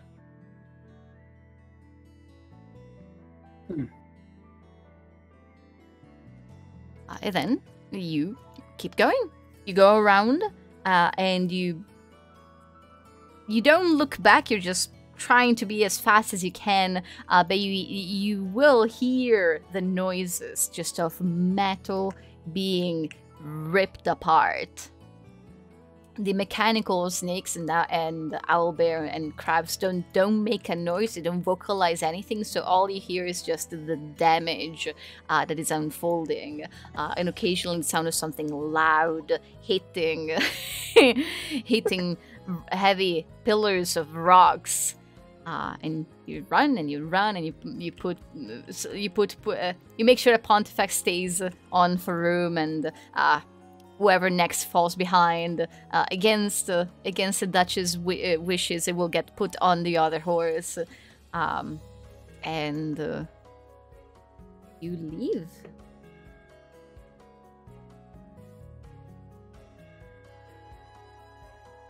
You all incur in a point of exhaustion uh, as you keep moving as fast as you can until dawn is upon you. Uh, you are quite tired and you haven't taken a break in a while, but you don't dare to do so. Uh, now, without any of Orm's constructs that you had brought originally um, to uh, protect yourselves against and possibly fight against those that have taken Tekka from you, uh, you march on, continuing straight in the direction of the remains of Stealing Dread.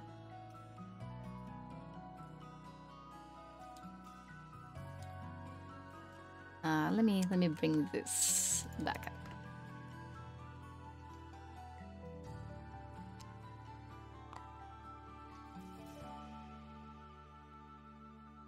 Okay. And tuck it.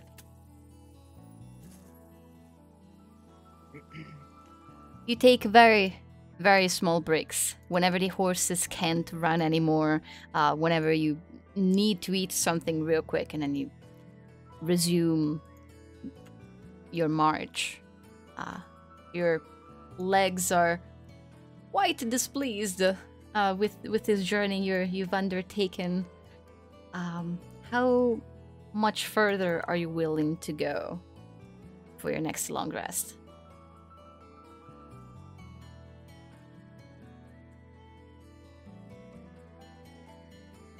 Is there any indication that we are catching up, or is it just same trail, same? Mm. Ooh, they're really far up. Okay. I'd, I'd say that what you can determine is that the trail is like the um as old as it was before. Like you're at a point where it's fresher, but you're also like it's been another it's been another day. Uh, so catching up? No, not quite, but definitely staying on the path.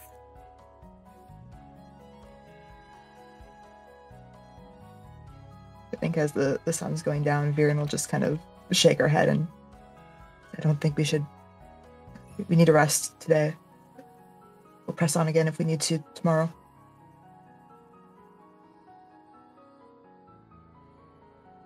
All right. Let's leave at the earliest time tomorrow then. So if you want all of you should rest, I can stay alert while you sleep. Save us a little bit of time, a few hours.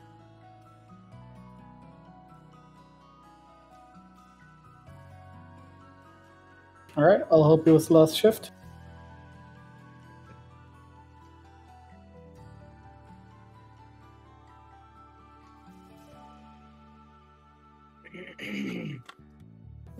We long rest. In what order Yep. are you keeping watch? Virion's gonna stay up first. I think maybe only for now. I, I did not hear what you said. Is Oh, she's so- going to watch? I think so Vir- Virion's, Virion's gonna stay up first since she only needs to rest for four hours anyway. Okay. So she's gonna try to take up as much watch by herself as mm-hmm. possible. You to cover the first let four everyone- hours. Devamia can take two hours, and did Brooke offer? Vami I and can take the last one. Okay. I'll take the perception checks from the three of you then, at disadvantage because because of exhaustion. Exhausted. Yes. okay, but I get advantage from my shield, so just normal. Okay.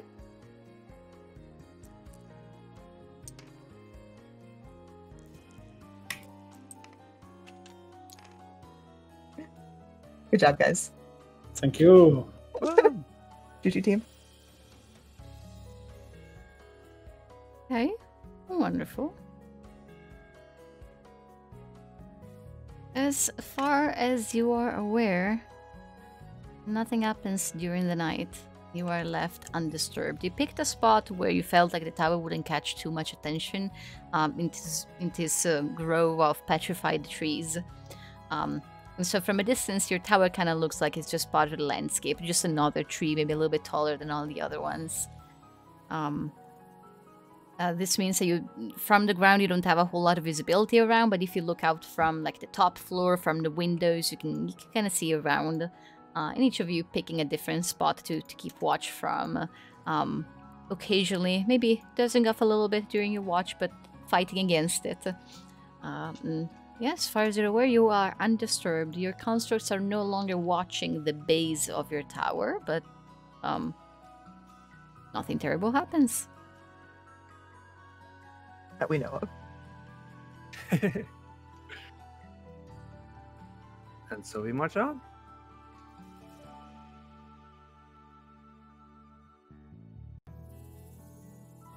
Boop, boop, boop. Okay. So you march on. Uh, your legs having rested, the horses seeming to be in a bit better, higher spirits.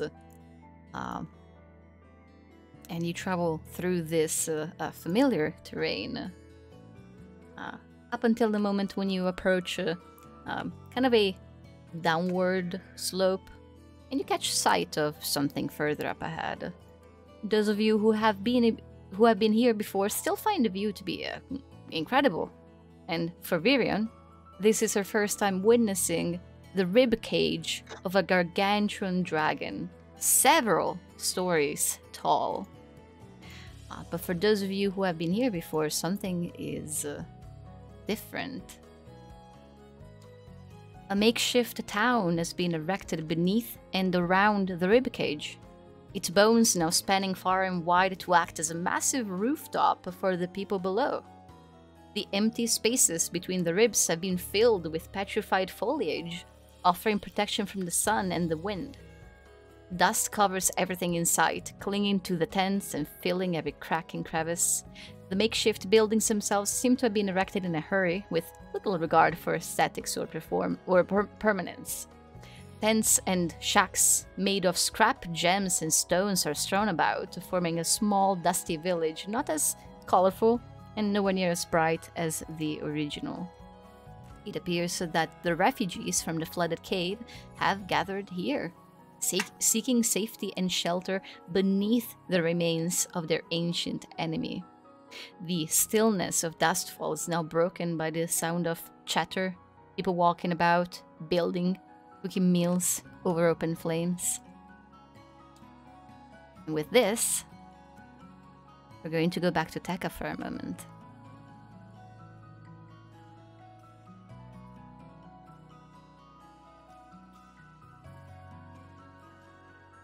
Hmm. I'm just going to leave this like that. Hey, Tekka, Mm-hmm. you spent some time on your own, waiting. Um, quickly, uh, Potrukash had started interacting with you uh, in order to pass the time, and you saw him trying to get your attention and pointing at things and then saying words in that language that you don't understand, and um, it clicked soon enough that. Uh, um, ooh, let me change the music. Eh, Oop. It clicked soon enough that he was trying to teach you words. Uh, pointing at things and uh, pronouncing uh, their names in, in Krell and uh, waiting for you to repeat and then correcting your pronunciation if you go along with it. Yeah. This this went on for uh, the the majority of the day, um, and actually, you realized soon enough that you're actually not quite sure if it's day or night. The fact that it's raining within the cave means that you have no idea um, where the sunlight is at, and uh, there's no change in the artificial illumination in Rashk.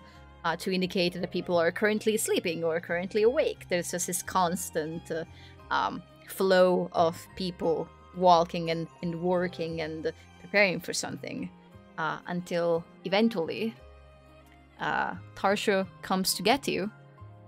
The uh, the guards they, they leave the manacles on you, they leave the chains on you, but they remove them from the parts where they are attached to the wall.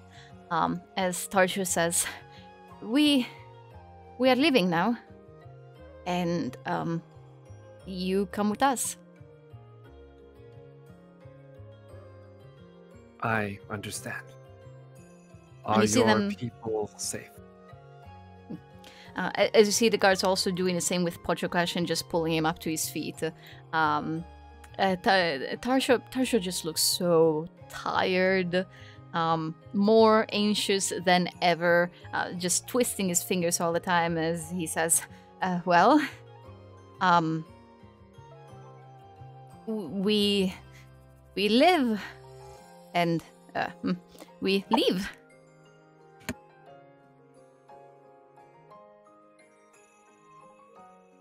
Lead the way.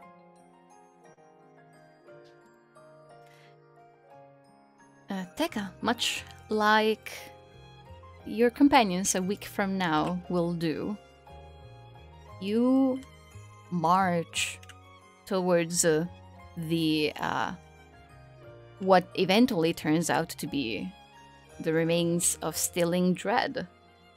Uh, and you are just uh, surrounded by people that, that both precede you and follow you, uh, people who have just put together everything uh, important that they absolutely need to take with them uh, and uh, have left their flooding cave. Uh, you have been taken out. By the, by the time you walked out of the house, you had been locked into. The water had already reached a foot and a half uh, um, of of depths, um, and th- there was there was no sign that the rain was going to stop. Um, here before the rib cage of uh, Stilling Dread, uh, people had started to set up uh, their tents, those those with those strange translucent, um, very br- vibrant, almost glowing materials. that you've never quite seen before.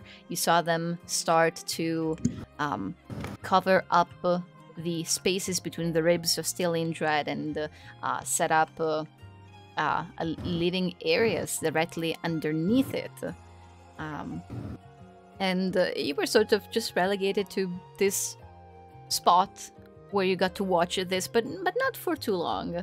Uh, as ta- taught you how to say the words for for trees and for wall and for tent and for dust. Um, e- eventually, uh, Tarsho stepped uh, by your side again. Um, uh,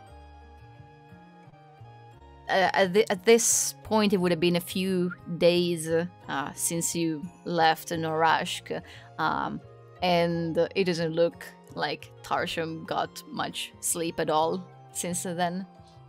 Um, and he like kind of slumps down next to you and takes this deep breath. Uh, uh, and takes out these notes written in a script that you're not familiar with. uh, um, and he holds them up like he's reading them out loud, uh, translating them on the fly, uh, as he says, "Um, okay, so a few things, but uh, first, and and, and then like he, he he rolls up the paper again and just makes eye, eye contact with you, which uh, Tarsho doesn't do that often, and he says, "How do you feel?"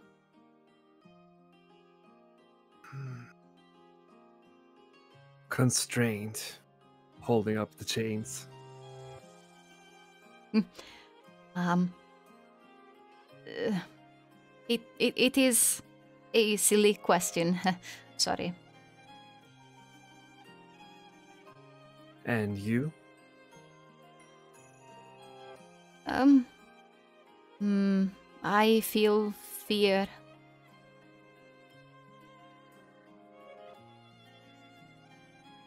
You will feel safety again. I. I hope so. I hope soon. Um. Perhaps if. If the gods answer us, then things will get back to normal.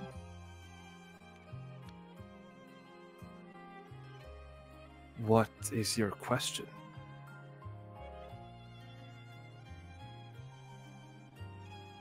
Hmm. Do do you ever pray?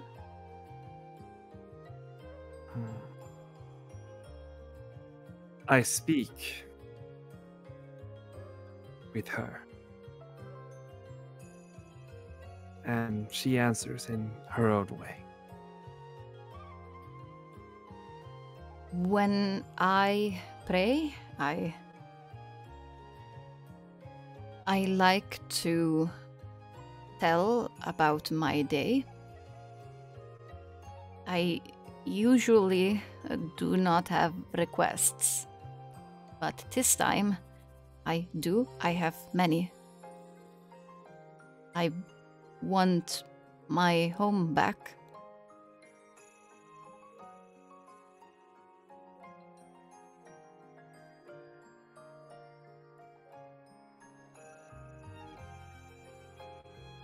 Your home is with you. It can be here, it can be elsewhere. My my flowers uh, they they do not survive though.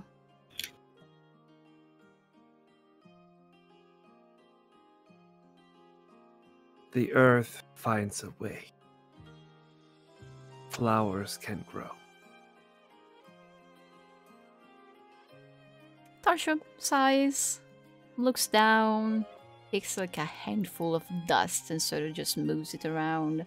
And then, kind of as if remembering what he's here for, he straightens his posture a little bit and uh, unfolds a piece of paper once again and says, I. we have a Len.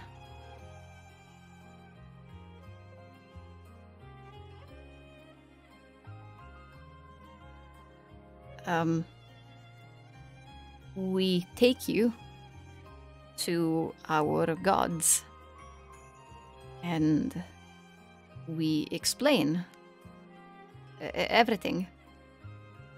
And uh, then we see what happens.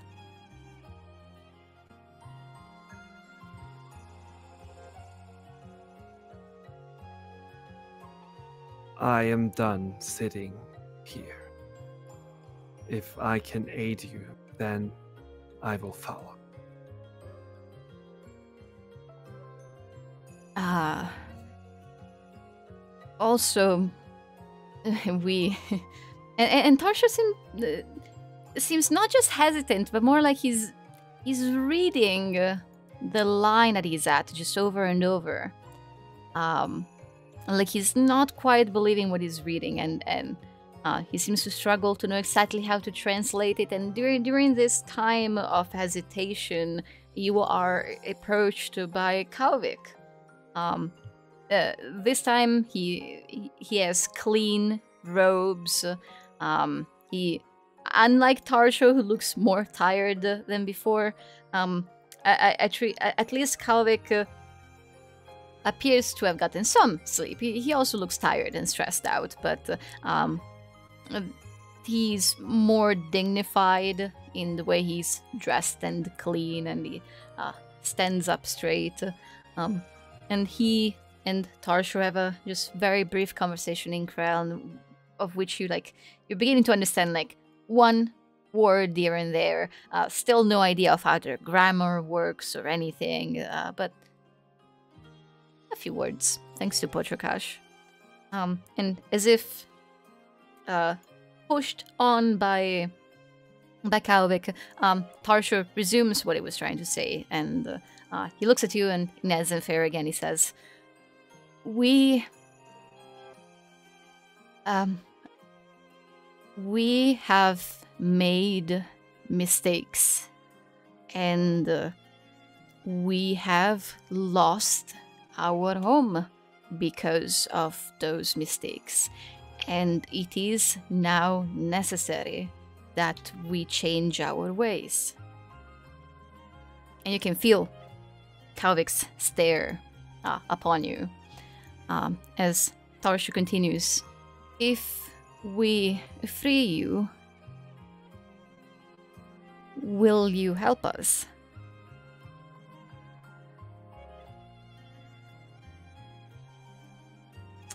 What will you ask of me?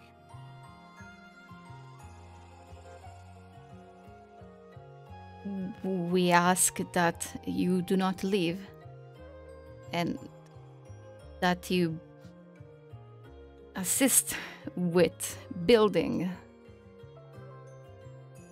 with hunting, and with praying to our gods.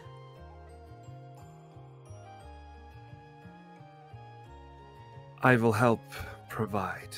I will help secure your people.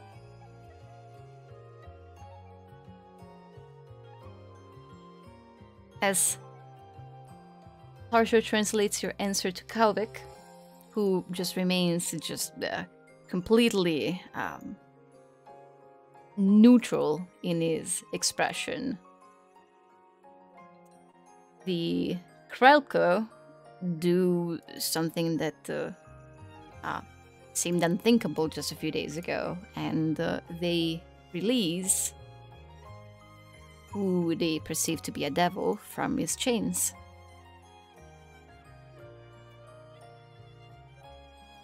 And what of him? Pointing to Patrikash.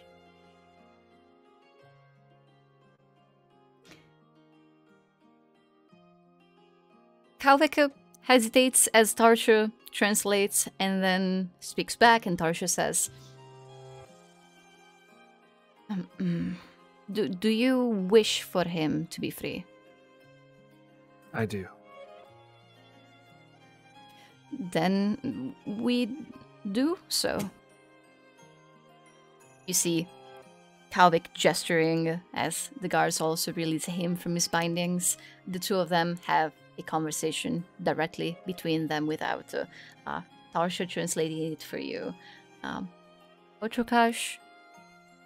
has a bit of kind of a bittersweet expression, uh, but you do see him just nodding at you, understanding that this came uh, from you. Tekka gives the nod, uh, Buttercross and to Tar- Tarsho. I can help build homes, but I will need my tools. Okay. Uh, Tekka, um, followed always closely by Tarsho, who um, is less watching what you're doing and just here to support you and to translate uh, for any interaction that you might have with the Krelko. Um, you are reunited with your belongings. Um, you are reunited, I do believe uh, that the party doesn't have Ollie, right? Yeah, I, I- I wouldn't imagine Ollie would leave. Okay, I, I, I don't I don't recall like uh, the, hi- him being separated from you during or after the fight. So yeah, um, Yeah, I don't think so. with Ollie, who is completely fine. Aw. He better be with you because we did not leave him out or feed him. Right, right. yeah, does do the people here react to Ollie at all? um, Or- so it appears that Ollie was uh, in the care of uh, uh, of a couple that you haven't you haven't met before, um, and uh, Ollie appears to be to be fed and to be fine, and um, quickly curls up in in your arms. Um, Ollie does appear to be kind of um, like an, an uncommon animal to see around here, and the people do see um, if you're like carrying him around, usually you get like the bit of a surprise stare, but mainly people usually look at you when uh, you're anywhere or doing anything. Uh, some keep their distances, some begrudgingly will work with you. Uh, very, very few seem to either not visibly express their discomfort or maybe to be okay with this. Um, but this is how all your life has been. It's not unique to them. Mm. Uh, I think Tekka would offer to the couple take care Ollie uh, the Ring of Warmth. It's a show of appreciation and gratitude. Oh. Okay.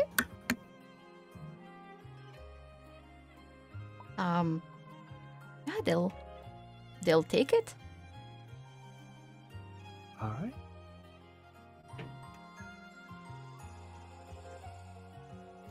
Um I think I know the answer, but I just want to like double triple check. Uh, you you're going to have a few days where you are free to go and act as you wish. Do you do you stay with them? Tekka follows his word, and he sees how all the duress that people are under right now, and will not abandon that. Okay. Yeah. All right. Then back to the present day. Boop. Um, with the party arriving uh, where the remains of Still in Dread are, and finding that uh, this appears to be the place that the, the Krelko that have escaped uh, the flooding Narashk, uh, wh- where they have gathered. Uh, you are a, a certain distance away. You can actually um, like see this kind of clearly as there are lights uh, now around uh, Still in Dread, which weren't here before. Um, and uh, to to your knowledge, you've gotten here before any Krelko noticed you. Um, what's your plan?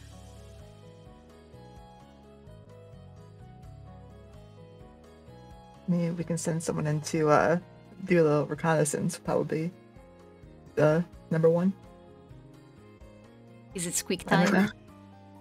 I mean, I'm pretty sure the last time we put in Squeak. He said that uh, the priest could see him, right? Yeah, that's right. I don't know what it is about that guy. He's like got some third eye or something. I mean, I'm I'm decently good at moving about on scene. I can do a quick sweep.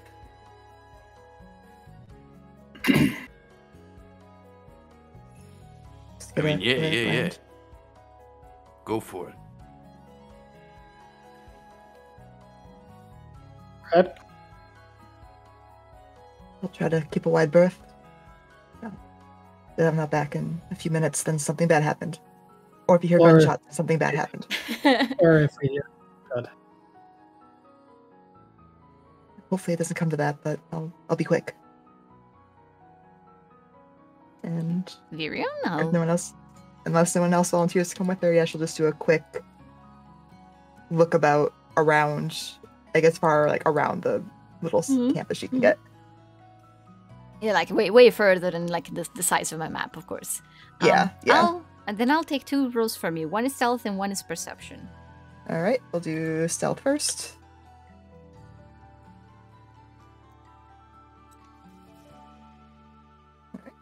And perception.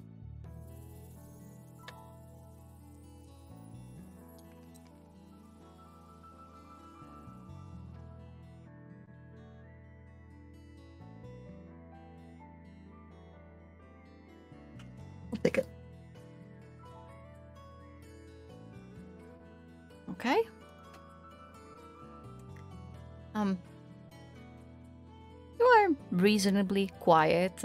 Uh, what's mainly keeping you hidden is you taking advantage of the landscape, just making sure to stay behind uh, taller dunes of dust uh, or behind petrified trees, uh, and staying far, far away from uh, where anyone should be. Uh, the you don't even have to have to worry about uh, your leaving behind footprints too much, as uh, the, the dust here has been walked over uh, by many people over the course of many days, and uh, any trail you might be leaving behind is just one of many. Um, you personally, oh, excuse me. You personally have never met uh, Tekka, Nope. but you've heard of uh, uh, the description of, of him. Heard uh, why he was being kept, uh, about the fact that he was believed to, to be a devil by the people uh, of the now flooded underground town. Uh, you've heard the story of him and Leshkri and uh, how he ended up being separated from the party. So by the time you see one person with uh, with these horns and this unusual hair color that none of the other people there have, uh, this jawline and these tusks that are reminiscent of Plurnan orcs. Um, you are simultaneously struck by the thought that, that this has to be him, and also it can't be him because he's just up and about and working alongside the people who supposedly have imprisoned him. Um, so you're not quite sure what's going on with that, but you do get to see um, what this area looks like, and you go all the way around, so you see it from every direction. Um, struck once again by just size of this rib cage, um, and uh, the there's quite a large amount of people that have built uh, um, this temporary town beneath and around it, and you see because you rolled a 19. Um, you also see a lot of people who go beneath the rib cage and then uh, go through some kind of underground uh, entrance uh, and disappear below the ground. Um, or also, like it, there's there, there's a flow of people that seem to be traveling in and out from this place that is directly beneath the rib cage. Uh, catching your attention is also the large floating orange crystal that just emanates this brilliant light. Uh, and it's just floating above the remains of a currently not working and visibly broken fountain. Um, since you rolled a 19, as you uh, circled back towards the party, you also just glanced back in the direction you guys came from. Um, and just made sure that there was no trace of either machines or undead dragons uh, within view, and you didn't see anything. Cool. Um, as Virion gets back to the party, she'll just look a little confused and. What does your what's your friend look like again? A little bit like me, but bigger and walks like a person. Uh, horns, Yeah, about yay tall. yeah. Okay, You see him? What's he doing? believe- Is he okay? He, he I- alive? he's alive. I mean, at least looked like he was alive. Um, unless there is someone else here who looks an awful lot like him. He seemed to have been uh, helping, uh, doing some work. They've enslaved him. Uh, he didn't seem wasn't chained or anything, and he seemed to be, as far as I could tell, under his own free will. He wasn't acting to. I've seen a few people under mind control before. It didn't seem that, unless it was very good. I should have known. Brooke, you know what this means. What does it mean? Stockholm Syndrome. He's too nice for his own good. oh, I've read about that. Yep. It's uh so there are people about. I can take you back to where I saw him last. I mean it's been a few minutes, he might have moved. Uh, just be wary.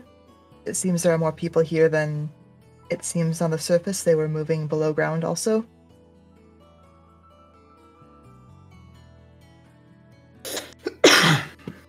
I'm not sure if we've mentioned this before, but these people were very keen on not killing Tekka, but did not care for us.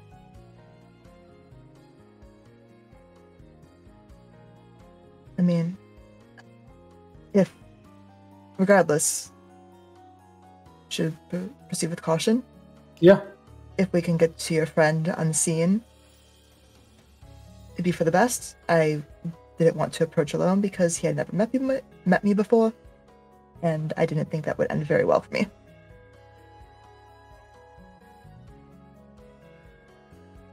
all right, let's proceed. Proceed More how? careful. We'll take a look in the, ourselves, right? Just I think Or did I misunderstand? We're just gonna walk right in. I think Virion would try to keep everyone at a wide berth, kind of backtracking to where she had seen Tekka. okay. Uh, that means I'll take stealth rolls from everybody else. I will roll for the professor, who has disadvantage on stealth and minus three, which makes it a seven. Just gonna write it in chat. I can. There we go.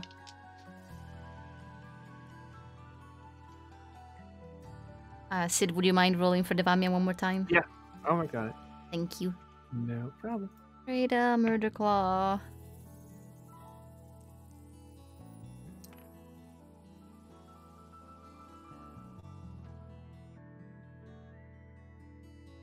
Hmm. Murder Claw and Devamia have rolled the same number. One second.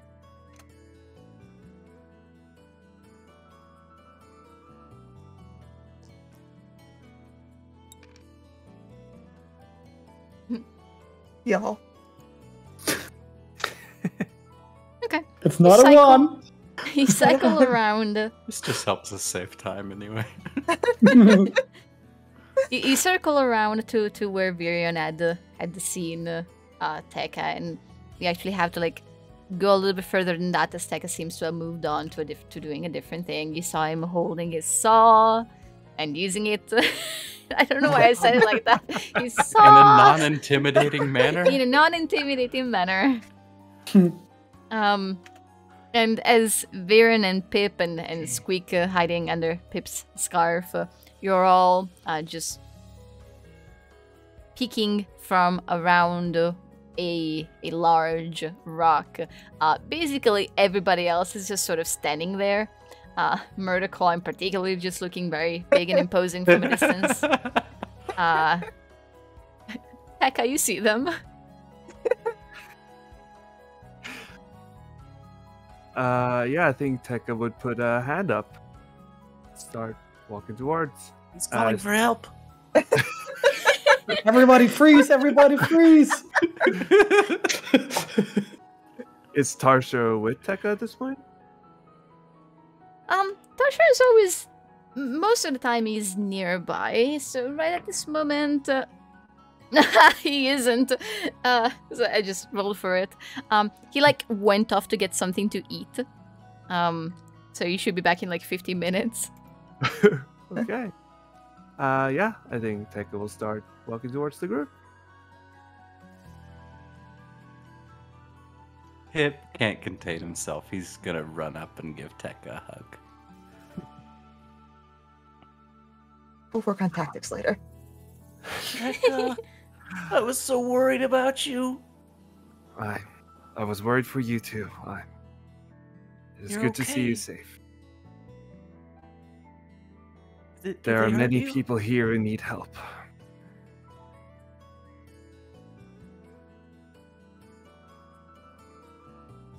Is the professor with you? Sorta.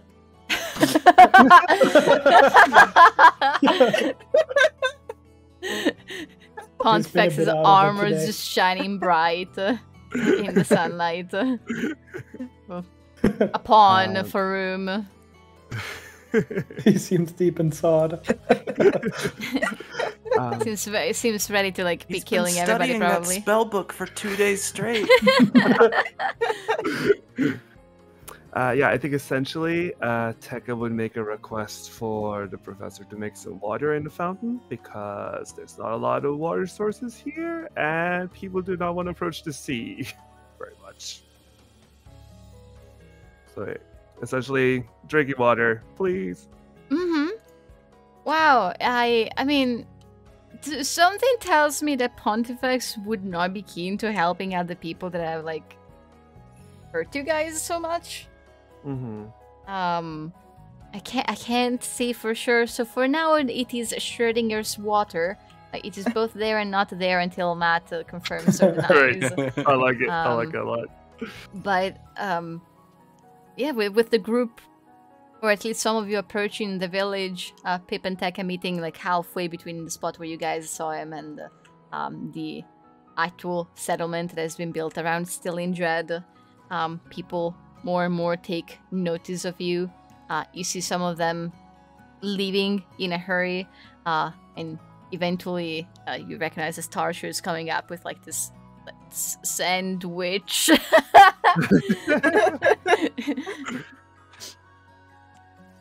um,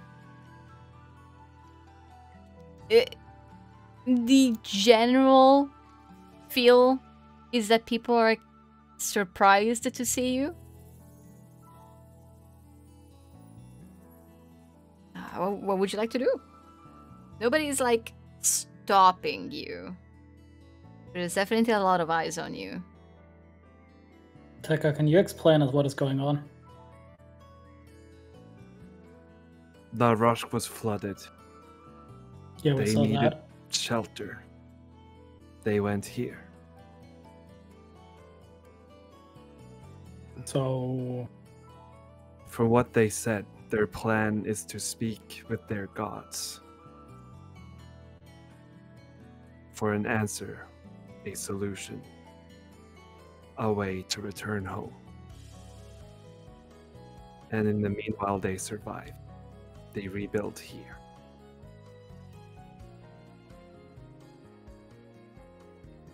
so you're good?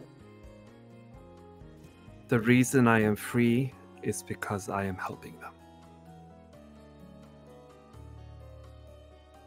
They are people who are afraid. So I am helping them. So, do you need help helping them? Like twice if you want us to get you out of here. Tekka, Uh, the, the, there is a woman here you don't recognize, and Yeah, it was a, just a whispering. visible lack of talix. Oh no, I- I forgot. Tekka doesn't know.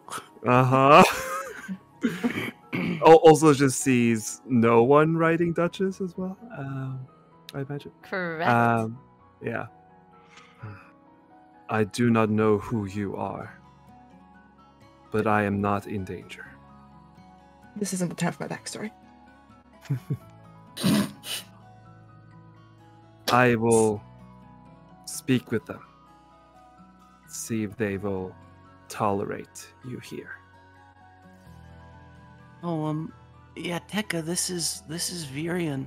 She came here after. Uh, After Telex is gone.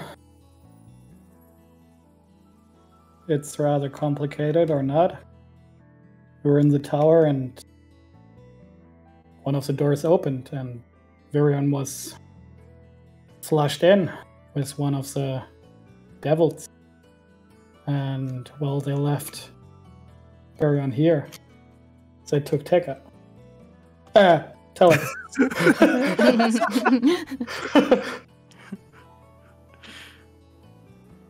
the sea made a trade. the sea sucks.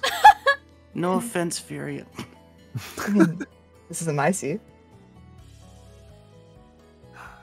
And you know nothing of where Talix is. Except I mean- for the sea. Underwater, maybe. Aside from that, no. That is a large and unknown place. Also very haunted. Full of devils. I was told never to go deep into the sea for a reason. If he is there now, I do not know how he will return.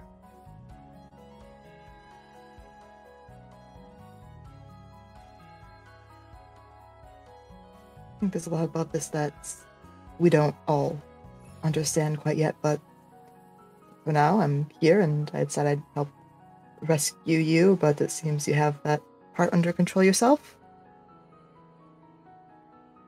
There are still many problems, and I will not deny your help. You seem to have gained the trust of everyone here, so then I will trust you. I will speak with them and see if you can stay. You are strong, you are smart, you could do a lot of help, a lot of good. So if they don't want us here, what then? Then I. Then I do not know. I made a promise. For some reason, they believe I am important for their communication with their gods. Do not believe they will let me go. Like nothing.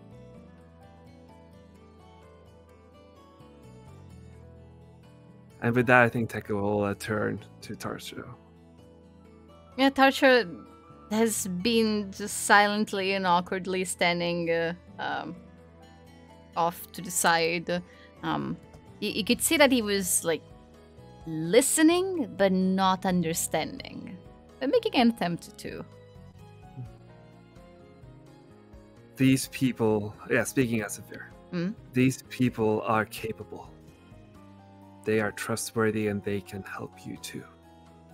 Please allow them passage here. Um, Tarsho looks off in the distance in the direction he just came from. He begins twirling his fingers again and he says, I. I cannot say. Um. Kalvik is coming. Will you wait? We will wait. And uh, Tekka turns back to the group. The priest makes the choices here. And I do not believe him to be on our side.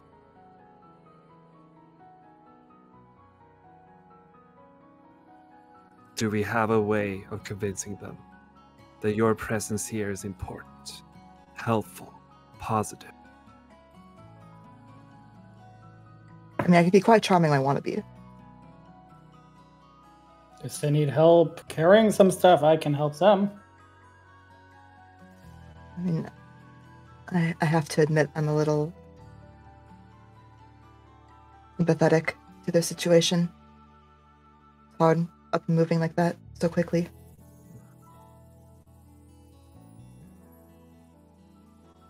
These Okay. are vulnerable people without a home. I think there is a way.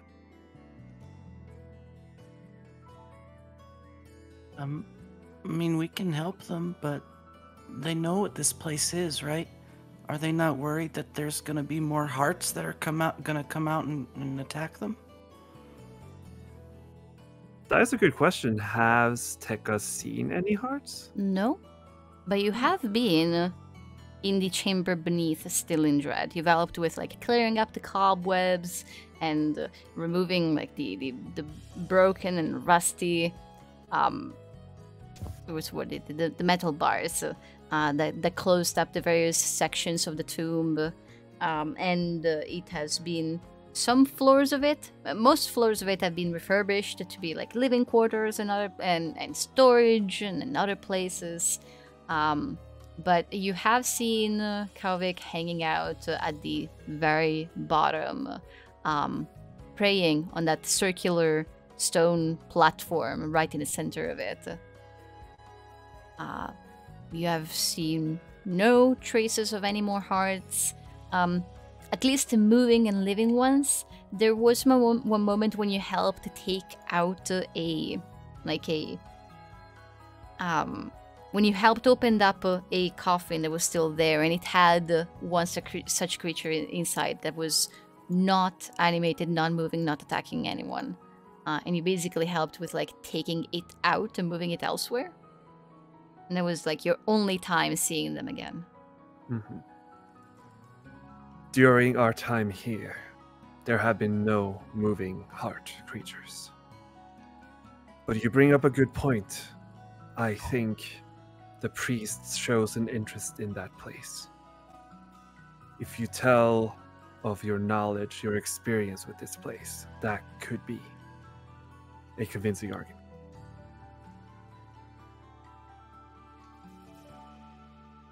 Another point that uh, should probably be mentioned that uh, the undead dragon that you did or did not defeat earlier, I'm not entirely sure, is roaming the area. It seems far off now, but it was worryingly close to here. that that dragon if that dragon is arriving here then we will need your help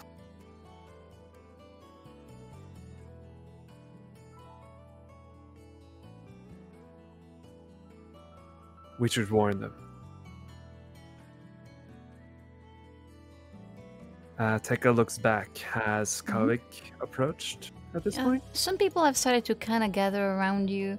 Uh, some making more or less of an effort to to uh, hide their uh, curiosity or worry uh, around you. It, the the longer you talked, the bigger the crowd around you formed. Uh, and around this time, uh, um, the the crowd parts as Helvik approaches. Um, as I was describing to to Tekka earlier, he has changed uh, his robes, and right now he's wearing this. Uh, um, they're uh, deep green color. Um, uh, scroll, scroll, scroll, scroll. Okay, here we go.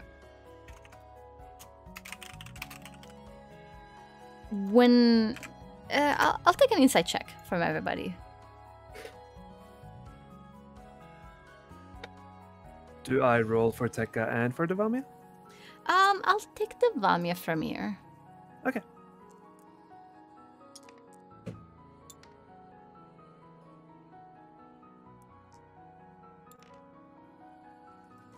Let's go. Okay. That makes it uh, uh, oh, that makes it Brooke, Virion, and Tekka, who can. The expression on the priest, uh, very forcefully neutral. Uh, this man is feeling, feeling a lot of emotions uh, under the surface that he's uh, fighting very hard to keep to keep down. Uh, the previous hostility is not quite gone, but he he does seem to be in some kind of situation where he has to put it aside. Uh, you see that his movements are a little a little stiff, uh, and he mainly avoids eye contact. He establishes it uh, more, perhaps out of uh, um, just to acknowledge your presence, but not necessarily to uh, to mean much more than that.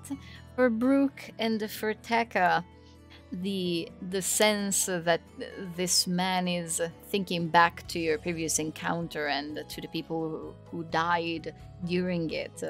Um, it, it feels like things are certainly not fixed and perhaps he blames you for some of the current troubles, but uh, when he speaks to Tarsho and Tarsho translates for him, at least in the words that Tarsho uses to translate, the that hostility, those kinds of thoughts that seem to be going through the priest's mind, none of them come through.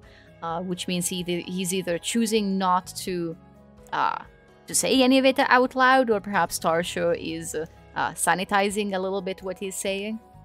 Um, either way, the the translator speaks for him, uh, taking his words and um, speaking in, in first person for Kalvik, uh, as he says, "We had foreseen your return, and we acknowledge that."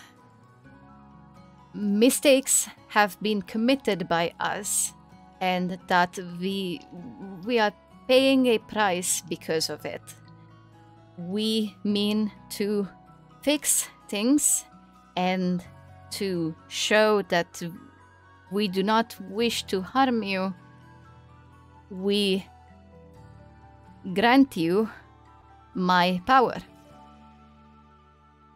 Kalvik removes a necklace around his neck and holds it out.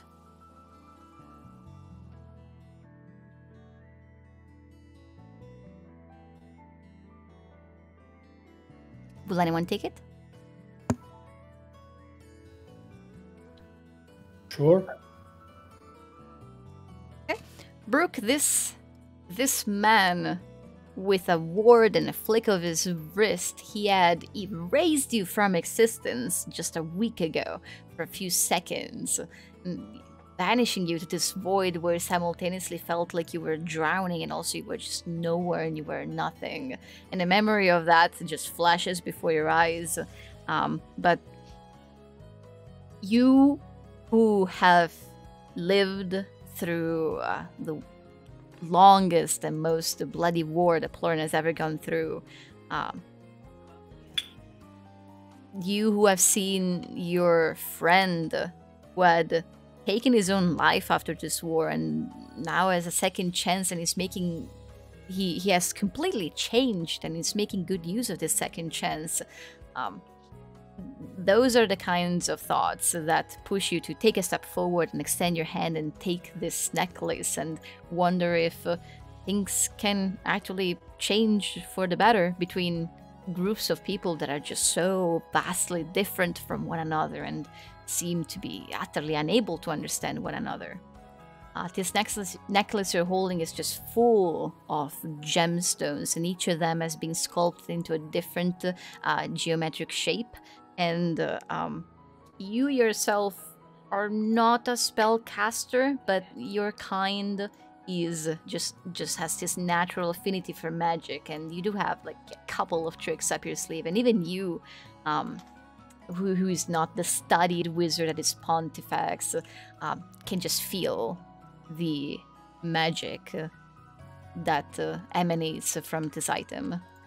Um, Arsha speaks for Kalvik again and uh, says, If you will uh, accept it, our gods wish to see you.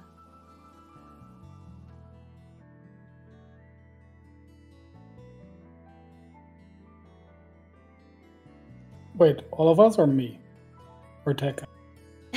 uh, Tarsho seems to be speaking to the group, although you do see Kalvik like eyeing Virion, like he's not quite sure what she's doing here. um, but uh, Tarsho, Tarsho is addressing the group, the party. I look at Tekka and see if he has any resistance to that, and if not, I nod. Yeah, I think Tekka nods to you, Brooke.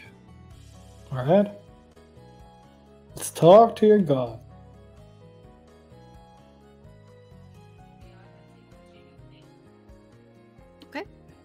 Uh, Brooke, you are in possession of Kalvik's uh, holy uh, necklace. Um, and uh, if if you are okay with this, then Kalvik begins to walk away, and uh, Tarsho is quick to tell you to, to follow.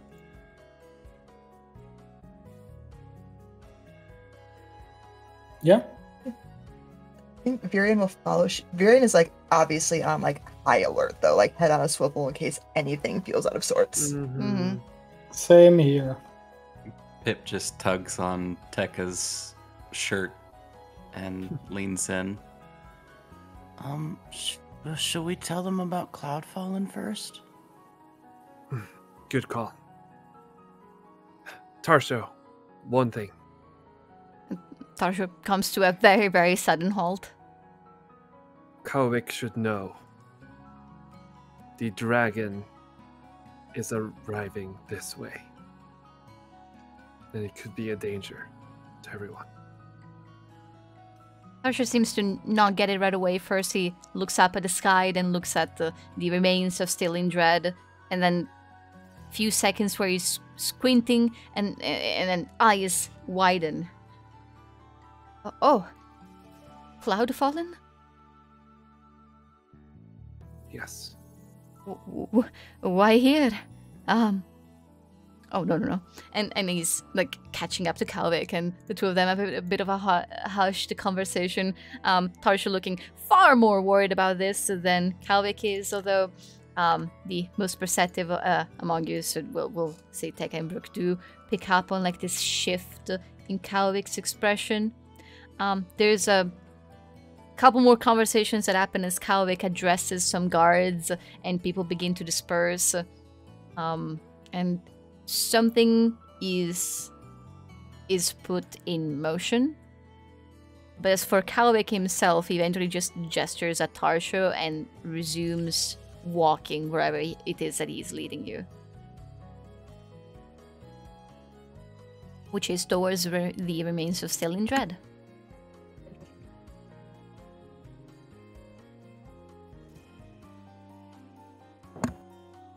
All right, we continue. Yeah. Okay. Ah, beneath Still in Dread, and then down a staircase. uh, most of you have already ah seen before. And then into this underground crypt.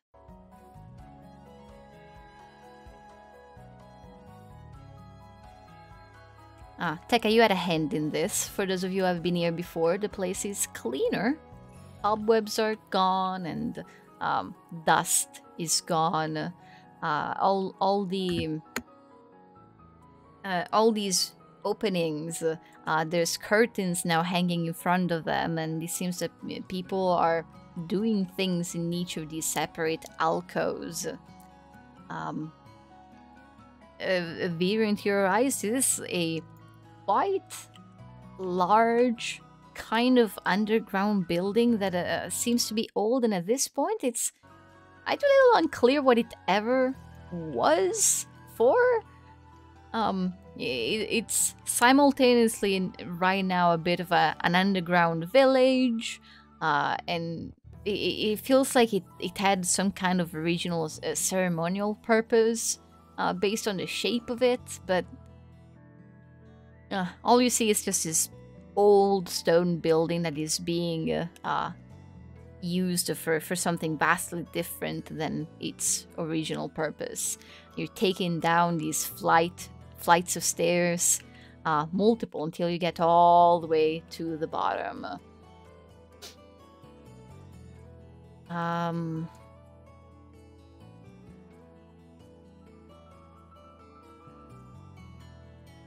One moment. Okay. Fire big. One.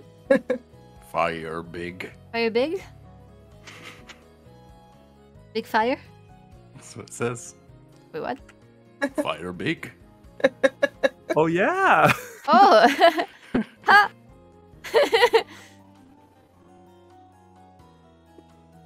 uh, nope, not allowed. Fire no longer big. Probably all fire Aw. is Fire. big. no more fire. no, Fire No, small. fire small. I lost my place in my notes. It's all my fault.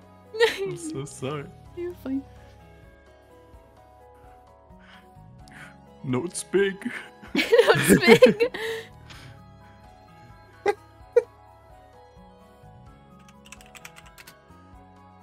Okay. Uh, all the way down to the bottom of this building, as Kalvik stands on this stone, uh, circular stone platform in the middle and looks up uh, at this section of the building, uh, which is currently empty, but it feels like something was supposed to, be there and uh, at some point in the past, the way it's it's, it's designed. Um, and yeah, Kalvik looking up at it, he speaks to Tarsho, Tarsho translating, and then Tekka translating from Fair. So through this uh, usual chain um, of of translations, uh, you are told that uh, that uh, um, well, let, let, let me let me put it in actual dialogue. Uh, Tarsho for for Kalvik says, "Our gods sense the mark of another god upon you. Uh, we think that you can speak to them, and if you do." our village can be saved and and our gods might um, and then you see you see Tarsho hesitating and like immediately change the wording on that uh, as he says. Uh, but probably uh, certainly will also help you um, with anything.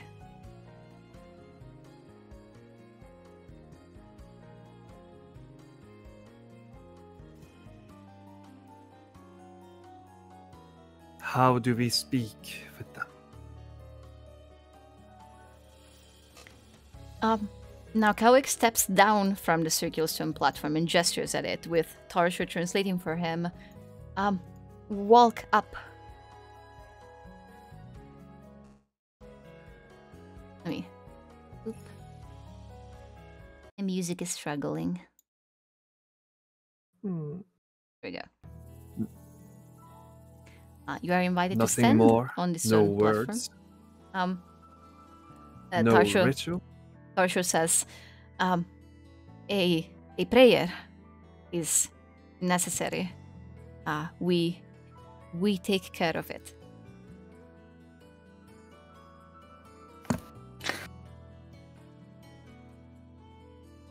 Uh, yeah, Tekka will look, look back at the group.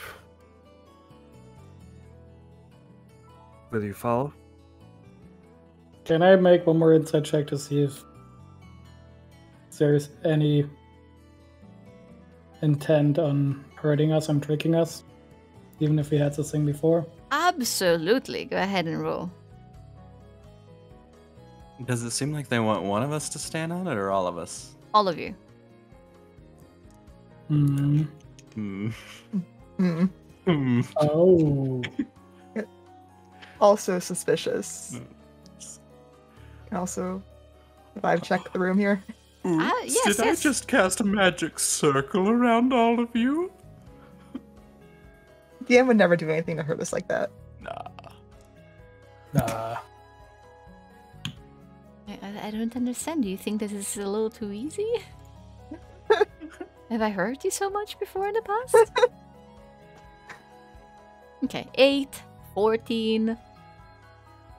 Um, Kalvik just has this ability to maintain a neutral expression through most of this. Uh, the biggest change on his face having been when he uh, was told about Cloudfallen. Um, but otherwise, you both still get this feeling like he he is unhappy about this, uh, but has to go along with it. Um, so it's not exactly kindness that you see in his eyes. Um, uh, particularly uh, like uh, Brooke, for you, it's just very hard to tell. But Virion, you can see that that kind of hostility uh, in the way he's looking at the group, but not not at you. He doesn't seem to have strong feelings about you. Um, but also that kind of like like he's holding back. Um, so the overall vibe that you're getting is, well, this guy is not really our ally, but what he's actually trying to do, that's a little beyond you.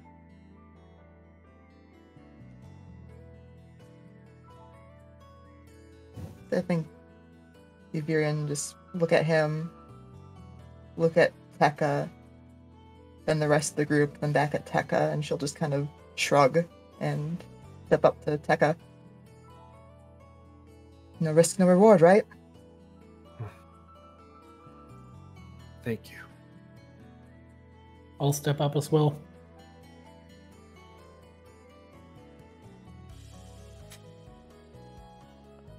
What about yeah, that? sure.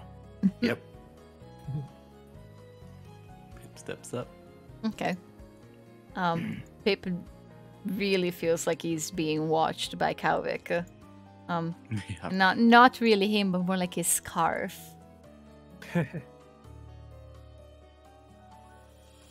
Um, yeah, I have a devil in my scarf. So what? You got a problem? oh, if Kalvik could understand.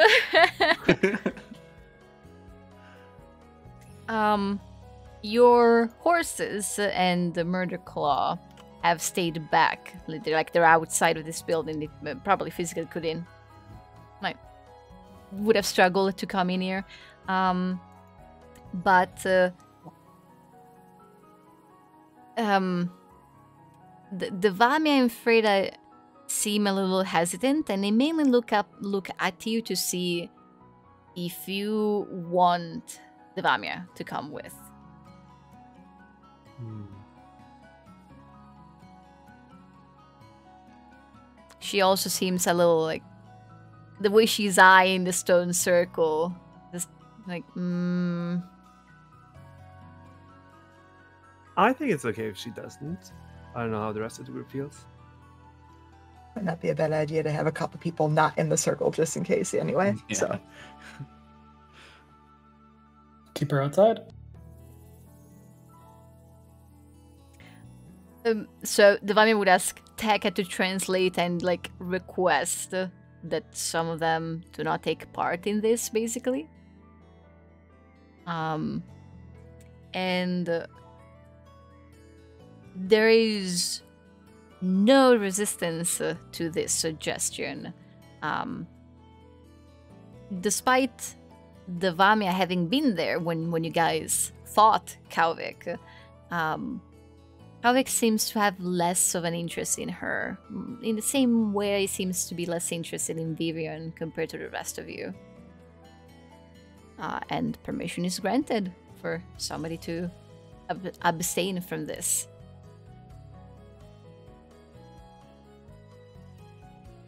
So how cramped is it for all of us to stand on this? A little bit.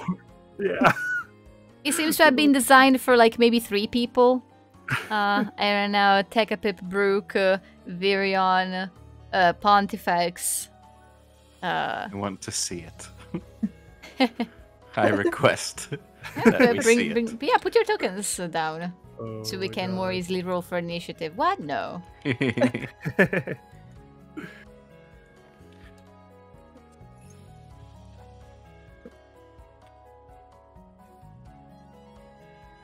Let me let me take off the grid and make it easier. Don't push me, Virion. It's very cramped up here. Rook taking up a lot of space. Oh. Hey, what did you just call me? it's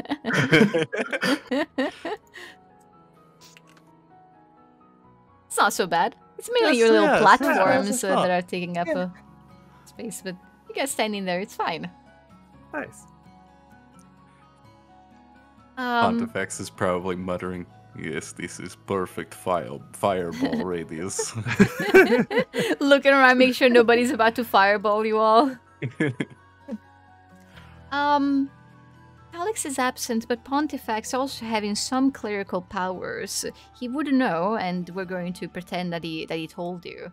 Um, like to his understanding, unless Kalvik has some kind of like backup necklace, uh, he just handed Brooke basically his focus, and in theory, that should prevent him from casting most magic unless Ledarians do things way differently.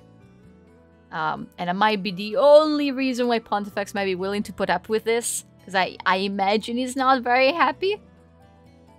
Um, not the most forgiving kind of person. Uh, and with all of you standing here, uh, Kalik turns his back on you. Uh, he's right here. Uh, looks up at this platform and begins uh, to speak. None of you knowing exactly what he's saying, uh, but it seems it's just monotone, um, and it seems to be like a, a practiced kind of speech. It feels very prayer-like, and you all listen, and all you have is just the sound of the of the words of each syllable, but none of the meaning. Um, you're left to wonder if what's taking place right now has anything to do with the original purpose of this place or with what happened to it afterwards, and really not quite sure what you're doing here. But Tekka is set on helping the same people who were ready to just imprison him for life. Um, and there is this awareness that uh, whether you do or do not feel guilty about it or feel like it is your fault, uh, the fact remains that your arrival in Narashk ultimately set uh, in motion the events that have destroyed uh, one of the most spectacular places you've seen in Ledaria thus far. Uh, and whether you feel like you, you owe it to them to fix it or like ah, they you don't owe them anything or whatever your feelings are on the matter. It seems like you are on track to uh, perhaps put things back the way they were before. Uh, Virion, you have just been whisked into this crazy scenario, and you yourself are a tiny bit lost at the moment, and you're not quite sure if you're uh, on the right path, and it's not the craziest thing that you've done. And so you listen, and just listening to the speech that doesn't mean anything to you, it uh, it has this effect where your mind wanders off since you can't really listen to it. You're thinking all these thoughts and looking around and making sure that nothing and no one is sneaking up on you. Tarsho has stepped away, um, just giving you space but not uh, leaving entirely. Um, and because of all of how all of you are kind of on edge, um, in your own mind, but also very aware of what's going on around you, um, it's almost impossible not to notice the moment when uh, there is light that shines upon the circle that you guys are standing on. Uh, and looking up, you see the sky wide open, despite you being underground, and uh, your your mind needs a moment to like think about how this is possible. If there was a some kind of mechanism that opened up part of the ceiling directly above your heads, or, or what's going on. It feels like there is sunlight, and it's actually pure intense sunlight, not filtered through all the dust that is just constantly filling the air of dustfall. But it's it's warm, it's bright, uh, it feels nice, and then that that feeling that there is sunlight that directly shining on your skin. Uh, it immediately goes away and is replaced by a different kind of feeling. This kind of cold, chill, not hostile, um, but more like you are standing directly beneath the full moons of Ledaria uh, in the middle of the night. Uh, the light that is shining upon you is no longer sunlight, but it is moonlight, and everything feels uh, cold and feels like it's getting darker, and like all the lights that are lit in this area, uh, they're they're gone, and all the people that were around in this building, they have they are also gone, and everything is so quiet and still, and you are suddenly whisked away upward towards the night sky. That's where we'll end the session. Whoa! Ooh. Roll new characters next time. Yep. I'll die. Straight to heaven. Do not pass go. Do not collect two hundred dollars. oh man. That's cool. I'm excited. We do we get to learn the secrets of stilling dread? Well, we'll find out next uh, Sunday. On the Oh, second, are we good? Uh huh. yeah. Before before Easter? Plot Okay. big. Plot big. I hope to have you all there uh, for it. And uh, uh, welcome back, Tekka. Yay! Yeah. Yay. We missed you. It was fun being Devamia for a little bit. No, I really like that. I'm going to be yoinking in the carter sheet away from you. Oh I'll let him take pictures. Memories. Memories, Quick, memories, screenshot. memories, of course, of course, memories. It's to put on your fridge. I actually need you guys to pick up your your mini I clear the table. And uh, yeah, with that, um, I'm just going to see you next time. Uh, Dennis, what are these three inspirations you got over there? Um, you know what? I've kept them safe because my table neighbor actually uses them quite frequently. So since he can only store two, and I have gained the superpower of storing three. Because it, it, it's your it's your summary next time. Yeah. Uh, so if you want I to mean, it's of okay if I makes a if it makes a ca- if it makes a summary and give it away to someone else. Oh, The yeah, inspiration thing, yeah, sure. of course. All right. You'll you'll do the summary and you'll gift away your inspiration. I'll I'll allow it. Mhm. Thank you. Thank you. Okay then. With that, I am going to save the game and uh, let you all go. Hope you enjoy the rest you of your Sunday. session. Thank you. Yeah. Oh, you're quite welcome. Welcome back to Still in Dread. Yay. It's like I never left. all right. Night, everybody. Bye, everyone. Bye. All Bye. right. Bye. Goodbye.